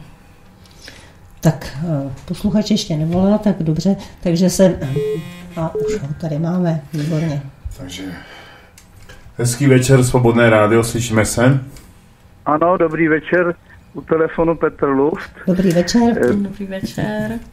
Dobrý Já večer. zdravím obě dvě eh, vážené dámy a měl bych takový jeden, eh, takovou reminiscenci na to, eh, na ty postoje pana eh, Salviniho, eh, jak jste zmínila, paní Moniko, a to, že eh, odolává eh, různým nátlakům a útokům z eh, různých eh, papalášů z Evropské unie a on argumentuje pevnými postoji. A ty postoji se eh, jak si blíží postoji na základě eh, takového řečení, kterým autorem je Vladimír Putin a ten říká, eh, člověk musí dokázat a být schopen v životě zůstat úplně sám, osamocen, aby se nakonec ukázalo, že měl absolutní pravdu. To je, bych řekl, že by to na něj pasovalo, na to Salviniho. A potom jsem měl jeden dotaz. Eh, Co říkají eh, italští fanouškové, kteří se jak si prezentují určitě z širokých mas, ne zrovna dobře eh, jak si ekonomicky a finančně postavených v Itálii, na to, že oblíbenec, a teď už žiju expresivního výrazu čutaristického sportu, pan Ronaldo, byl přetažený, mám tušení, loni, z, myslím, z Barcelony do AC Milán. E, Tu transakci, která stála asi zhruba 4 miliardy euro, nebo dolarů, teď nevím, tak s- údajně financoval Fiat, e, fabrika automobilová, která má velký problémy s inovací vozů a vůbec s výrobou. Takže e, co, a mimo jiné plat pana, pana fotbalisty je asi tři čtvrtě miliardy ročně eh, pana Ronalda. Takže co, co na to říkají eh, fanouškové italští? Poměrně eh, masalí, která na tom není zrovna ekonomicky dobře. Tak to je všechno, budu poslouchat. Děkuji, nashledanou. Naschledanou. Shledanou. Tak teď jste mě dostal. Takže eh, teď se tady musím přiznat, musím se tady odhalit, teda, eh, že co se týče fotbalu, tak eh, ten já ale vůbec nesleduji a řeknu vám proč. Eh, Mně se fotbal líbil. Já, když jsem byla mladé děvče, tak jsem ho často si i ráda zahrála, ale od té doby, co jsem se odstěhovala do Itálie a dávali mi tam ten fotbal k, v- k snídani, k obědu i k večeři a to každý den, tak jsem, tak jsem prostě, tak mi to tak strašně znechutili, jo, a hlavně těma reklamama, protože mi tam přibrali právě ty fotbalisti spíš jako nějaký modelky, takže nakonec už e, se tam nějak divně hrálo, že každý se bál, aby neměl nějakou modřinu, protože třeba druhý den měl jít na focení a právě se tam začali točit tak strašně velký peníze, že jsem si řekla, že jako e, je to škoda mého drahoceného času, abych to e, nějakým způsobem teda na tomhle tom přemýšlela. Samozřejmě e, se nevyhnu tomu, aby když jsem někde mezi lidmi, abych neslyšela e, nějakou skupinku třeba, která říká, ježiš, ten má miliony, miliardy, tohle, tamhle. Jo, jsou lidi, kteří prostě e, jsou natolik e, vyloženi jenom fotbalově za stínění, že nic jiného nevidí a jim to úplně jedno, že je to vlastně dneska o biznesu a není to skoro vůbec o hře, aspoň to je teda můj názor. A e, ale e, abych to schrnula úplně, teda e, víte co, to je přesně to, jak se říká, e, e, třeba tady v České republice jsem často slýchala názor, že třeba tady se všechno možně zdražuje, ale nesmí se šáhnout na pivo, protože to by prostě přišli lidi do ulic. No tak v Itálii to máte s fotbalem, jo, může se tam stát cokoliv, ale nesmíte jim šáhnout prostě na tu mičuru. A e, takže já se bohužel e, omlouvám, ale e, já, kdybyste mi to neřekl, tak jako ani netuším prostě, kde ten Ronaldo hraje. A jestliže se eh, jednalo eh, v minulosti, eh, co vím teda o AC Milan, tak ten byl Berlusconiho, takže to je tak jak ta informace, kterou vím a dneska vůbec netuším, jak, jak to je. Něco tam prostě probíhaly tam nějaké změny, no ale vím, že teda Salvini zůstal teda věrný a, a fandí dál Milánu a rád eh, třeba eh, to i komentuje ale to je asi tak všechno, co vím. tak co já vím, tak v loňském roce zemřel šéf Fiatu, tak doufejme, že tam bude takový management, který si i s takovouhle cenou, kterou přispěl na přestup Ronaldo do AC Milan, že si poradí že Fiat nebo Fico, tak se říká, že neskrachuje. Tak asi k tomu jinak Italové jsou v tomhle směru patrioti a jsou rádi, jo, že tam mají prostě. takového hráče. Jeho, jejich oslavy, vítězství, pokud je člověk zažije, tak to je něco šíleného, to jezdí v autech, houkají, to se oslavuje, to je prostě celý ten národ tak jako s tím žije. No naučili jsme se teda, když ještě se vrátím teda k té politice, že eh, jestliže někdo někde dá nějaký volby, zrovna když teda se eh, děje nějaký, nějaký to mistrovství nebo něco, co se týče fotbalu a je to prostě v nějakých těch hodinách nebo dnech, no tak jako vyhrává tam mečura, hmm. jo, před veškerým prostě eh, děním vůbec na celém světě, jo. Ten míč jim prostě nesmí smíte vzít, jo. No.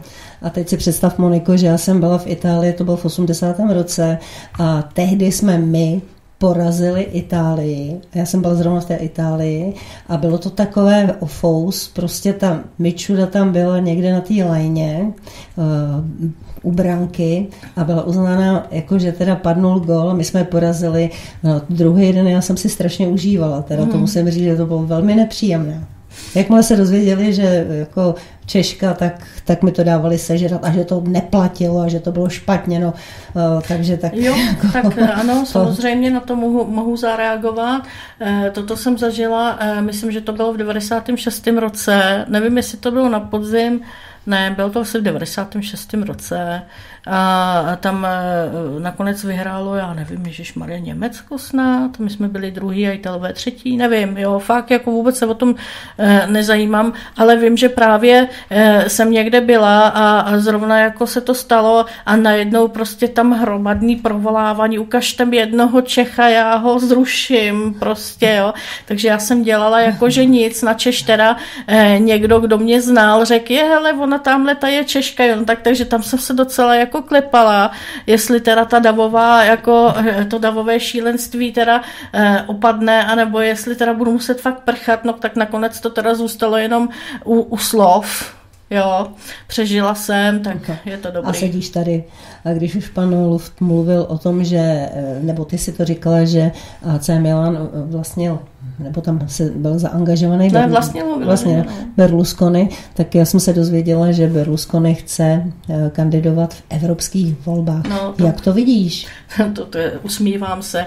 A kdybych mohla, tak, eh, tak se budu smát a hodně hlasitě. Jo. Opravdu to už je, eh, jako je do nebe volající, jako je to, já nevím, prostě já to vidím opravdu jako frašku, protože si myslím, že jako zrovna on eh, nechci říkat v jeho vletech, že jo, ale e, není to už ten člověk, který e, eviden, eventuálně v nějakých těch, e, když měl potenciál v určitých letech, e, de, dejme tomu, že byl, nebyl úplně nejhorší, že byli horší než on, jo, ale to, co předvádí prostě za posledních Eh, pár let, tak to je opravdu už úplně neskutečný a fakt je to už ta korouhvička, která přeletuje jenom, aby prostě si eh, nějakým způsobem eh, dokázal, dokázal že on je prostě ten, který všechno ví, všechno zná, že on je furt ten kavaliér, jak on, o něm mluvili, ne, jako opravdu je to škoda, když bych to řekla jako člověk, který by nebyl třeba politicky a zaangažovaný někde nebo pro nějakou stranu, tak tak, by, tak, je, tak škodí svý straně vyloženě, mm-hmm. když tam zůstává v tom vedení. Ano, také ta strana vlastně eh, je v parlamentu, máte ji v parlamentu, veď v parlamentu je, není jo, ve vládě. Jo, jo, v parlamentu. Jak se chová teda ta strana? E, Nic... Často, často, často, často už jako směrem k té levici tíhne. Hmm, jasně. Tak my tady máme, Martinku. Tak máme tady dotaz. Dobrý večer, mám obavy, aby za své postoje nedopadl Matteo Salvini jako Kennedy. Hmm. Myslíte, že to hroz, nehrozí? Držím mu palce a doufám, že je ve střehu. Děkuji za, vás, za váš názor. Eh, přeji hezký večer, Eva. Já si myslím, že tohle to už dneska se tak nedělá většinou. Děkujeme, Evičko. Eh, děkujeme za otázku. Ano, samozřejmě všichni se o něj bojíme. Eh, jak už jsem řekla, Salvini dostává každým dnem výhrušky, obálky s s projektilem třeba a vyhrožuje, vyhrožuje se mu smrtí. Samozřejmě Eh, je to, je to opravdu těžká ta jeho situace, co všechno pro nás eh, dělá a jak eh, vlastní osobu vlastně vystavil vyloženě, když to už můžeme takhle i říct, smrtelnému nebezpečí. Samozřejmě má výbornou ochránku, ještě před rokem chodil bez ochránky, postupně místo dvou byly čtyři, no a samozřejmě nemůže už si dovolit vyloženě úplně eh, chodit tak, jak, se mu, hm. jak se mu zachce. Eh, on často eh, rád, lidi ho milují, on často rád vchází do davu mezi lidi, takže ty, ta jejich ochránka opravdu hm.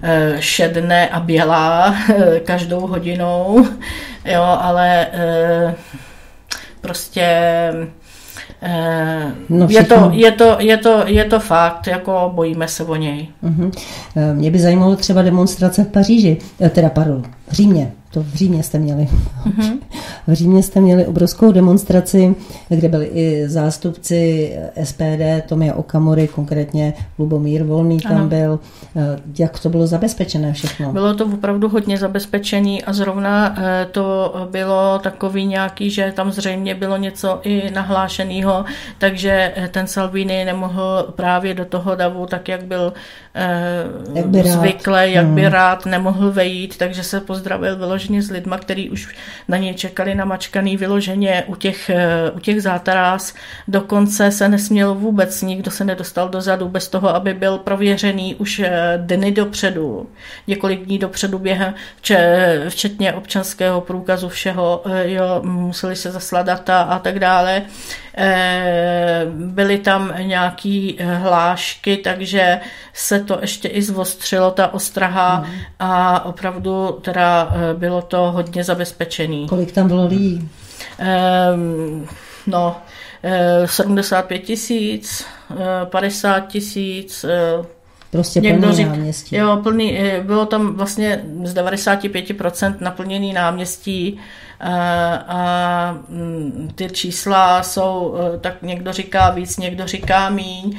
Já, já přesně jsem si nezjišťovala, jaká ta kapacita toho náměstí je, ale opravdu vám můžu říct, že trošičku malinko volno, opravdu ale úplně kousíček, bylo úplně vzadu. Mm-hmm. E, ale jinak to bylo fakt jako vyloženě e, hustý hlava na hlavě a byl to naprosto skvělý úspěch. Pro srovnání i eh, nějaká ta eh, levicová strana tam měla také eh, nějaké, nějaký sraz, nějaký meeting. No, tak, a já no. jsem viděla záběry z toho meetingu a tam bylo teda to bylo jak cedník takový. No, tak samozřejmě jsme nemohli si nechat ujít příležitost, aby jsme ne, nedali ty dvě fotografie ze stejného úhlu vedle sebe kolik tam teda ta bejvalý, bejvalá vládní strana nahnala eh, oveček a kolik lidí eh, přišlo teda na nás, jo, ale teď si vemte, že ty lidi nebyli všechny jenom vyloženě v tom eh, prostoru toho náměstí,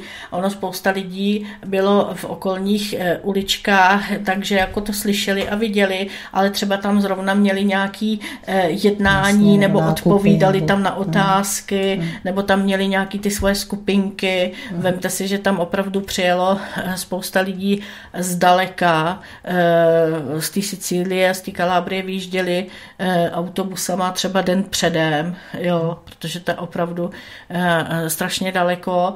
A byly tam samozřejmě potom mimo české vlajky, kterou jsme teda měli my, a, tak tam byly vlajky třeba ruská a katalánská vlajka tam byla. Jo, byli tam podporovatelé z různých asociacích pro rodinu, pro tradiční rodinu, pro zachování rodiny, protože to je taky jeden z nejdůležitějších bodů, který my zastáváme a takže samozřejmě ty, ty nechyběly a Potom samozřejmě byly přenosy a rozhovory novináři to samozřejmě všude jakoby eh, zohlednili teda. Moniko Salviniho a Legu a vůbec v Itálii čekají nové zákony, které chce Salvini prosadit. Můžeš nám říct, co nejdůležitějšího čeká, nebo co chce Salvini, aby se uzákonilo?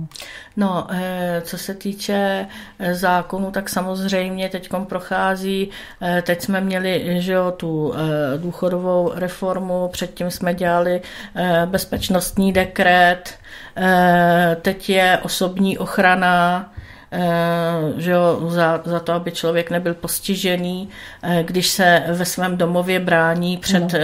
napadením domově. No, aby lidé měli právo se bránit. No ano, samozřejmě, protože do dneška tam byl problém ten, že když vám někdo vlezl do, eh, do bytu nebo do zaměstnání, do vašeho eh, prostoru, eh, soukromého, soukromého prostoru a, a třeba vás napadl a vy jste náhodou vyhráli, takže vás čekali procesy, který stály strašné peníze, jsou lidi, kteří přišli taky na dlažbu díky tomu, aby si vůbec dovolili uh, zaplatit třeba nějaký právníky. A někdo dokonce skončil i ve vězení, když třeba eh, ten eh, dotyčný delinquent uh, to třeba nepřežil, anebo měl nějaký trvalý následky. A dokonce po nich bylo požadováno ještě, aby dávali strašně velký peníze těm rodinám toho delinquenta, takže to dneska vlastně vůbec nebude už tímto způsobem fungovat. Do dokonce eh, ten dotyčný, který se bude bránit. Mluvíme o braně, jo. Ano, Furt sebeobrana. mluvíme sebeobrana. Eh, vy v tu chvíli, den nebo v noci, den, noc, eh, nemůžete v žádném případě číst myšlenky toho dotyčného, jestli vás chce okrást, nebo jestli vás teda požádá slušně o to, abyste mu otevřel safe, anebo jestli vás prostě praští, anebo zabije. To vy v tu chvíli v té situaci a v tom ohromení a myslím si, že v tu chvíli chvíli Šoku. je to šok eh, pro tu dotyčnou osobu, speciálně jestliže má eh, poblíž rodinné příslušníky a, a děti, ano. Eh, tak vy nemáte čas na to, abyste si toto rozmýšlel, takže vy máte právo se bránit a stát by vás měl zastupovat bezplatně v tomto procesu a v žádném případě nebude už existovat nějaký finanční eh, vypořádání s rodinou delinkventa. Mm-hmm za újmu, eh, za kterou újmu. člověk eh, způsobil, protože nechtěl přijít o život ano, a bránil se. Přesně tak. A Salvini řekl, jasně podal tuto zprávu všem delinkventům, že tak jako každé prá- každá práce má své rizika povolání, tak musí si uvědomit to, že je určitý riziko povolání, že když budou někoho přepadnout, že by taky se z té práce nemuseli vrátit. Aha. Tak my tady máme ještě telefon. Tak, my si vezmeme telefon tady. A... Slyšíme se, prosím, stumte si rádio. Ano. Tak. Dobrý den, tady Eva Divišová. Dobrý den. Dobrý den. Dobrý den. Tak povídejte. Mě by zajímalo, jak se e, situace mimo a k situaci v Itálii staví třeba italská televize a rádio. Jestli to je něco podobného jako u nás ČT, anebo jestli zaujímají jiný postoj. Děkuji. Děkujeme moc krát za otázku. Naschledanou. Eh, děkuji, naschledanou. No to je výborná otázka ovšem. Eh, to je, takže eh, musím vás zklamat, je to to samý v bledě modrým nebo v bledě růžovým, to si vyberte. Tak jak je dnes tady Česká televize, tak my tam máme ráj. Jmenuje se to ráj. Eh, nedá se na to koukat, nedá se to poslouchat, sem tam je tam nějaká pěkná pohádka pro děti, i když eh, člověk musí dneska kontrolovat, aby ty pohádky nebyly nějakým způsobem ujetý, když to takhle řeknu. Gender. Ano, Gender. Eh, přesně tak, takže já osobně se na televizi nedívám už asi takových šest let a vybírám si pouze ty programy, na kterých se podívám teda vyloženě, že, že vím, že by to bylo něco, co chci vidět a hmm. podívám se na to na počítači nebo eventuálně teda u někoho, že jo, nebo jo, prostě fakt jako moje televize jakoby neexistovalo, neexistovala. Je tam eh, pár eh, zajímavých pořadů na alternativních eh, kanálech. Hodně se díváme na pořady, já si je pouštím, dá se to pouštět i na počítači. Kanál jmenuje se to Lasete, sedbička Eh, kde, kde teda jsou zajímavý třeba kolikrát diskusní uh, pořady, uh-huh. i když samozřejmě jsou tam taky ty uh, to osazenstvo, který na schvál se snaží schodit vyloženě uh, naše aktivity, jo, ale je zajímavý se na to podívat, protože oni ty naši zástupci umí Mají velice dobře reagovat, argumentovat a je to opravdu velice zajímavé kolikrát sledovat i tu reakci těchto lidí, když už potom nemají ty argumenty, anebo eh, sledovat reakci vlastně těch proti, eh, protistrán, eh, kdy tam třeba naposled se to stalo teď někdy v tom minulém týdnu, kdy teda pan profesor úplně kompletně prostě ztratil jakoukoliv sebekontrolu a křičel tam a řval a klepal se úplně, jo. Samozřejmě mu šlo o migranty, ano. jo, a úplně to bylo něco, něco neskutečného. To byl raptus prostě nepříčetnosti, takže opravdu, co se týče médií státních, ještě furt tam z toho, z té eh, bývalý, eh, neřeknu jenom z bývalý vlády, ale z celého bývalého eh, vlastně období, protože to období, že jo, je hodně dlouhý, kdy to bylo řízený eh, vyloženě eh, těmi určitými lidmi anebo trendy, tak tam ještě zůstalo dost takových lidí, že eh, to Jedou opravdu po jede po starou, sem tam někdo, když se tam dostane, tak často třeba i o pořad přijde, když to mm-hmm. není, když není eh, vyloženě moc jako korektní, jako takový, no, takže Moniko. opravdu musíme si vybírat. Tak jako tady, a rádio to, to samý, eh, ale mm, Liga má svoje vlastní rádio, takže tam tam, tam, to, tam také... to všechno, tam to všechno eh, pěkně eh, tématicky vysvětlíme. Ano, viděli jsme záběry ze studia. Eh, já jsem se chtěla zeptat RAJ 1, RAJ 2, RAJ 3. To, RAJ 3. To jsou státní kanály? Ano. Ano, takže toto si platí daňoví poplatníci v Itálii. Ano. Podobnost čistě náhodná, ironicky řečeno, eh, k ČT. Jo, ještě k tomu bych něco řekla teda. Eh, ono totiž lidi jako to přestávali nějak jako platit ano. a nechtěli to platit, takže oni se prostě rozhodli jako už jako s před dvouma rukama nebo třema, eh, že teda to dají do složenky za elektriku. Ano. Taková jako perlička, no. No, tak tady eh, je to něco podobného, tady prostě také eh, je to pro bruselské médium a eh, uvidíme, jak se to bude vyvíjet do budoucna. Koncesionáři absolutně nemohou ovlivňovat, co se bude v televizi vysílat. No tak aspoň mají ty lidi po starost mín, že nemusí já nevím, platit extra nějaké příkazy, takže aspoň takové. že to mají při jednom. Že to mají při jednom, zatímco tady se musí prostě to hlídat a v momentě, kdy se zvýší poplatky koncesionářské, tak se musí hned měnit ty příkazy a takové ty věci. No tak zatím se nezvýšily, no, ale jasně, samozřejmě, no. že teda tady ty snahy jsou, protože eh, já už jsem o tom také mluvila, že vlastně na televizi jsou eh, napojené neziskovky, jako třeba člověk v tísni no. a na toho eh, koncesionáři podporují. No ale vyloženě ráj Čí nemá, že jo, protože existuje, že jo, zase ráj jako kino, ano, jo, ano. tak oni vyloženě, že jo, i točí vlastní televizní série a televizní televizní filmy a to je věčně opravdu eh, někde, eh, že někdo z nějakého druhého konce světa je ten úplně nejlepší a Ital, že nestojí za nic uh-huh. a mhm. že je potřeba, že oni jsou ty chudáce, je potřeba všechno pro ně. Jo, opravdu na to se nedá koukat, jo. Tam vidíte vděčně nějaký ty eh, hlavní hrdiny, který prostě s tou Itálií a nemají vůbec nic společného. Jako teď tady vůbec nejde o to samozřejmě, jaký kdo je. Zase mluvíme jenom o tom, jak se kdo chová. Jo, a takový to prostě vymývání mozků a hlav akorát přispívá k tomu, že ten člověk je čím dál tím víc eh, nepřátelštější, protože k ostatním, protože eh, je věčně sám diskriminován. Je to hmm. prostě diskriminace naopak dneska, to, co a se je děje. je to frustrující samozřejmě. Je, no, je. No tak eh, tohle to asi eh, pro bruselské médium by také chtělo, aby se eh, trošku jim tam vyprali, vypralo prádlo a, a aby se s tím zatočilo.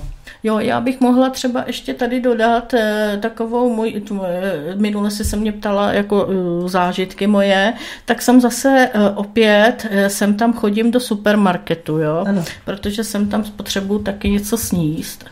A jak už jsem eh, říkala, eh, v Itálii u každého supermarketu dneska i pekárny a, a jiných eh, obchodů, kam se často chodí, máme vždy pána většinou, dokonce jsem zjistila i paní, poprvé v životě jsem viděla, že i paní, ale máme většinou pány pocházející pokud možno ze subsaharské Afriky, který prakticky nás nazývají čau brácho nebo čau ségro a, a natáhnou ruku, že chtějí teda to euro, co máte vy v tom vozíku. Takže když jsem uh, už zásadně do vozíku nenos, nedávám eura, ale krásnou barevnou plastickou uh, placičku, jo, tak když to, když to tento nový pán, kterýho jsem ještě nikdy neviděla, viděl, tak mě se na mě podíval a uh, řekl mi, že jsem zlá. Ano. a já jsem se na něj tak podívala, já říkám, jako o co jde. A on řekl, tam mělo být, jako, ale samozřejmě hodně lámaně, jo, eh, jo, ale v tom smyslu bylo to pochopené, že tam mělo být euro a že to euro bylo jeho. No tak, ať si to zkouší u sebe doma, ne? tak eh, možná, že by se to dalo vyřešit i tím, že by tam měli nějaké security, nějakého zaměstnance, který by to hlídal. Toho by museli přece platit. To by museli. Tak ale tady u nás vidím, že v těch obchodech jsou. Tak v některých taky jsou, že jo, jenom, že oni nemají uh, ještě ty pravomoce, aby je odváděli fyzicky. Jo, já jsem byla přímo svědkem u velkého obchodního centra, eh, kde tenhle ten dotyčný, který po lidech chtěl, Eh, věc eh, jako peníze, tak už byl tak na nervy, že zrovna se mu nějak nedařilo, zrovna tam nebyli ty lidi, kteří by se ho báli, tak tam začal vyloženě vyšilovat. Uh-huh, Takže jako jsem... přišli sekuritáci a chtěli po něm, aby šel pryč, jenomže oni ho nemohli eh, zasahovat, když byl na kraji vlastně toho pozemku, pozemku uh-huh. toho obchodního centra. Jo. Uh-huh. Takže on prostě, když odešel těch pět kroků tam, tak prostě vyšiloval tam a oni s tím vůbec nemohli nic dělat. Hmm. A přitom tam jsou určitě nějaké pracovní příležitosti pro migranty, že jo? Oni tam můžou umývat nádobí, jenže to je práce a to se jim moc nechce, že? No tak ono, tahle ta příležitost pracovní eh, je docela jako eh, dost vyhledávaná od Italů, kterých práci nemají. na tom, že i ale, ale, ale samozřejmě, ano, sam, ne, ale tak jako jsou dokonce situace, kdy třeba byly tyhle ty centra, Eh, kde jich bylo hodně a teda chtěli po nich, aby třeba na turnusy si tam i jako uklízeli a něco dělali, tak to ne, tak to se museli zaměstnat uklízečky, protože oni si po sobě ani neustlali. Uh-huh. Ty si představ, že ti budou mít nádobí. No právě, eh, teď eh, tady kdokoliv přijde do styku s jídlem nebo uh, i třeba s nádobím, tak by měl mít zdravotnický průkaz a to je kámen úrazu. Ale víš co, já jako nechci nic říkat, já znám pár lidí, který pochází z Afriky, ale to jsou prostě úplně jiní lidi. Ano. To jsou, to je, a tady se dělí strašně ta legální a nelegální imigrace. Ano. Mhm. Oni se fakt úplně jinak chovají, jo. Ano. Já znám hodně jako lidí, milých, jo, lidí, kteří hmm. prostě jsou z toho úplně eh, docela jako zděšení a je jim to líto, protože pochopili, že tyhle ty jejich eh, Eh, lidí, kteří pochází z jejich země, jim to tam všechno kazí, protože samozřejmě mhm. nikdo nemůže vědět, když je nezná, že tyto lidi pochází z legální migrace, že eh, eh, spořádaně žijí, učí se dobře, děti i ve škole chodí čistě, všechno, jo, normální rodina, prostě jako, jako i každá jiná, hmm. která přišla, protože měla, protože měla nějakou pracovní příležitost, no, no. jo, a házejí je do jednoho pytle a to je ošklivý, jako vyložení to vidět, protože jako vy to zase nepoznáte, že jo, když je neznáte, jo. Takže jako to bych chtěla právě eh, říct těm, který podporují nelegální migraci, aby si uvědomili, jak se strašně špatně zachovávají a jak, eh, jak, jak, jak konají špatně právě pro tyto slušné lidi, kteří pocházejí z celého světa. Mm-hmm. No. Tak my to známe, prostě nepřizpůsobiví lidé, samozřejmě, že se hází do jednoho pytle i s těmi, co jsou ano. přizpůsobiví. Jo, vyloženě se škodí e, slušným lidem, kteří přišli prostě a dobře se chovají. A to nemluvím ať, jsou, ať jsou odkud, odkudkoliv. Uh-huh, jasně. Vážení milí posluchači, my jsme pomalu na konci. Já bych chtěla ještě požádat Moniku, aby nám sdělila, řekla svůj názor na eurovolby a aby i co se týká našich občanů, aby se vyjádřila k tomuto tématu. Moniko. Co se týče eurovoleb, no eh, samozřejmě, eh, jak jsme už se o tom bavili, tak eh, je to věc závažná, životně závažná, protože to, co se děje, to, co se paktuje proti nám, tak vyústuje samozřejmě v ty dva proudy, o kterých jsme mluvili. Pro jeden proud elit a bank a pro proud obyčejných lidí, kteří chtějí žít a, praco- žít a pracovat a tvořit.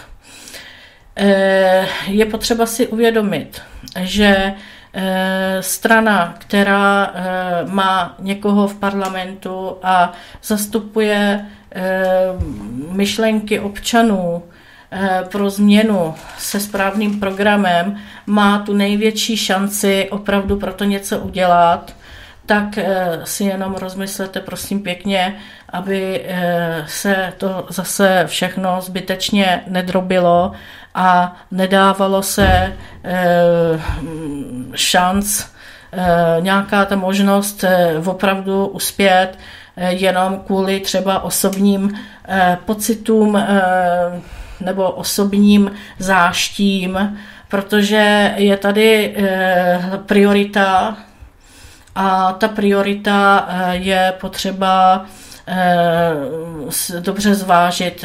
Jde o to, že jde o nás, o všechny no. a vůbec o celý život, jak se bude odvíjet eh, v celé budoucnosti.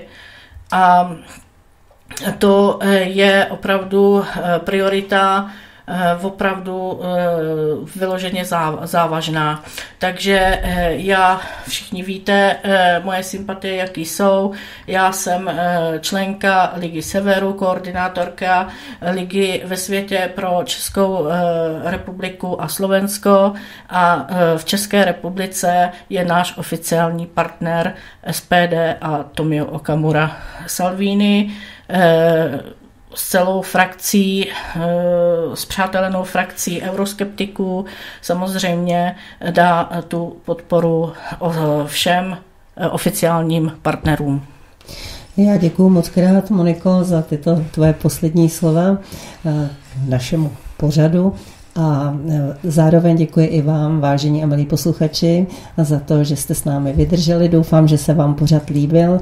Monika tady určitě není naposledy, protože to je takové naše sluníčko a máme ji rádi. Sluníčko, Ježišu Maria, neděs mě.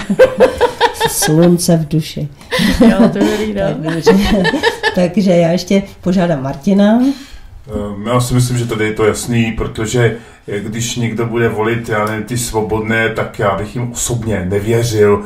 To je taková ta stranička, která eh, většinou je taková ta top, takže já myslím, že je potřeba podpořit SPD, Tomia, Okamury, eh, protože když potom budete dělat různé experimenty, tak se to akorát bude drobit.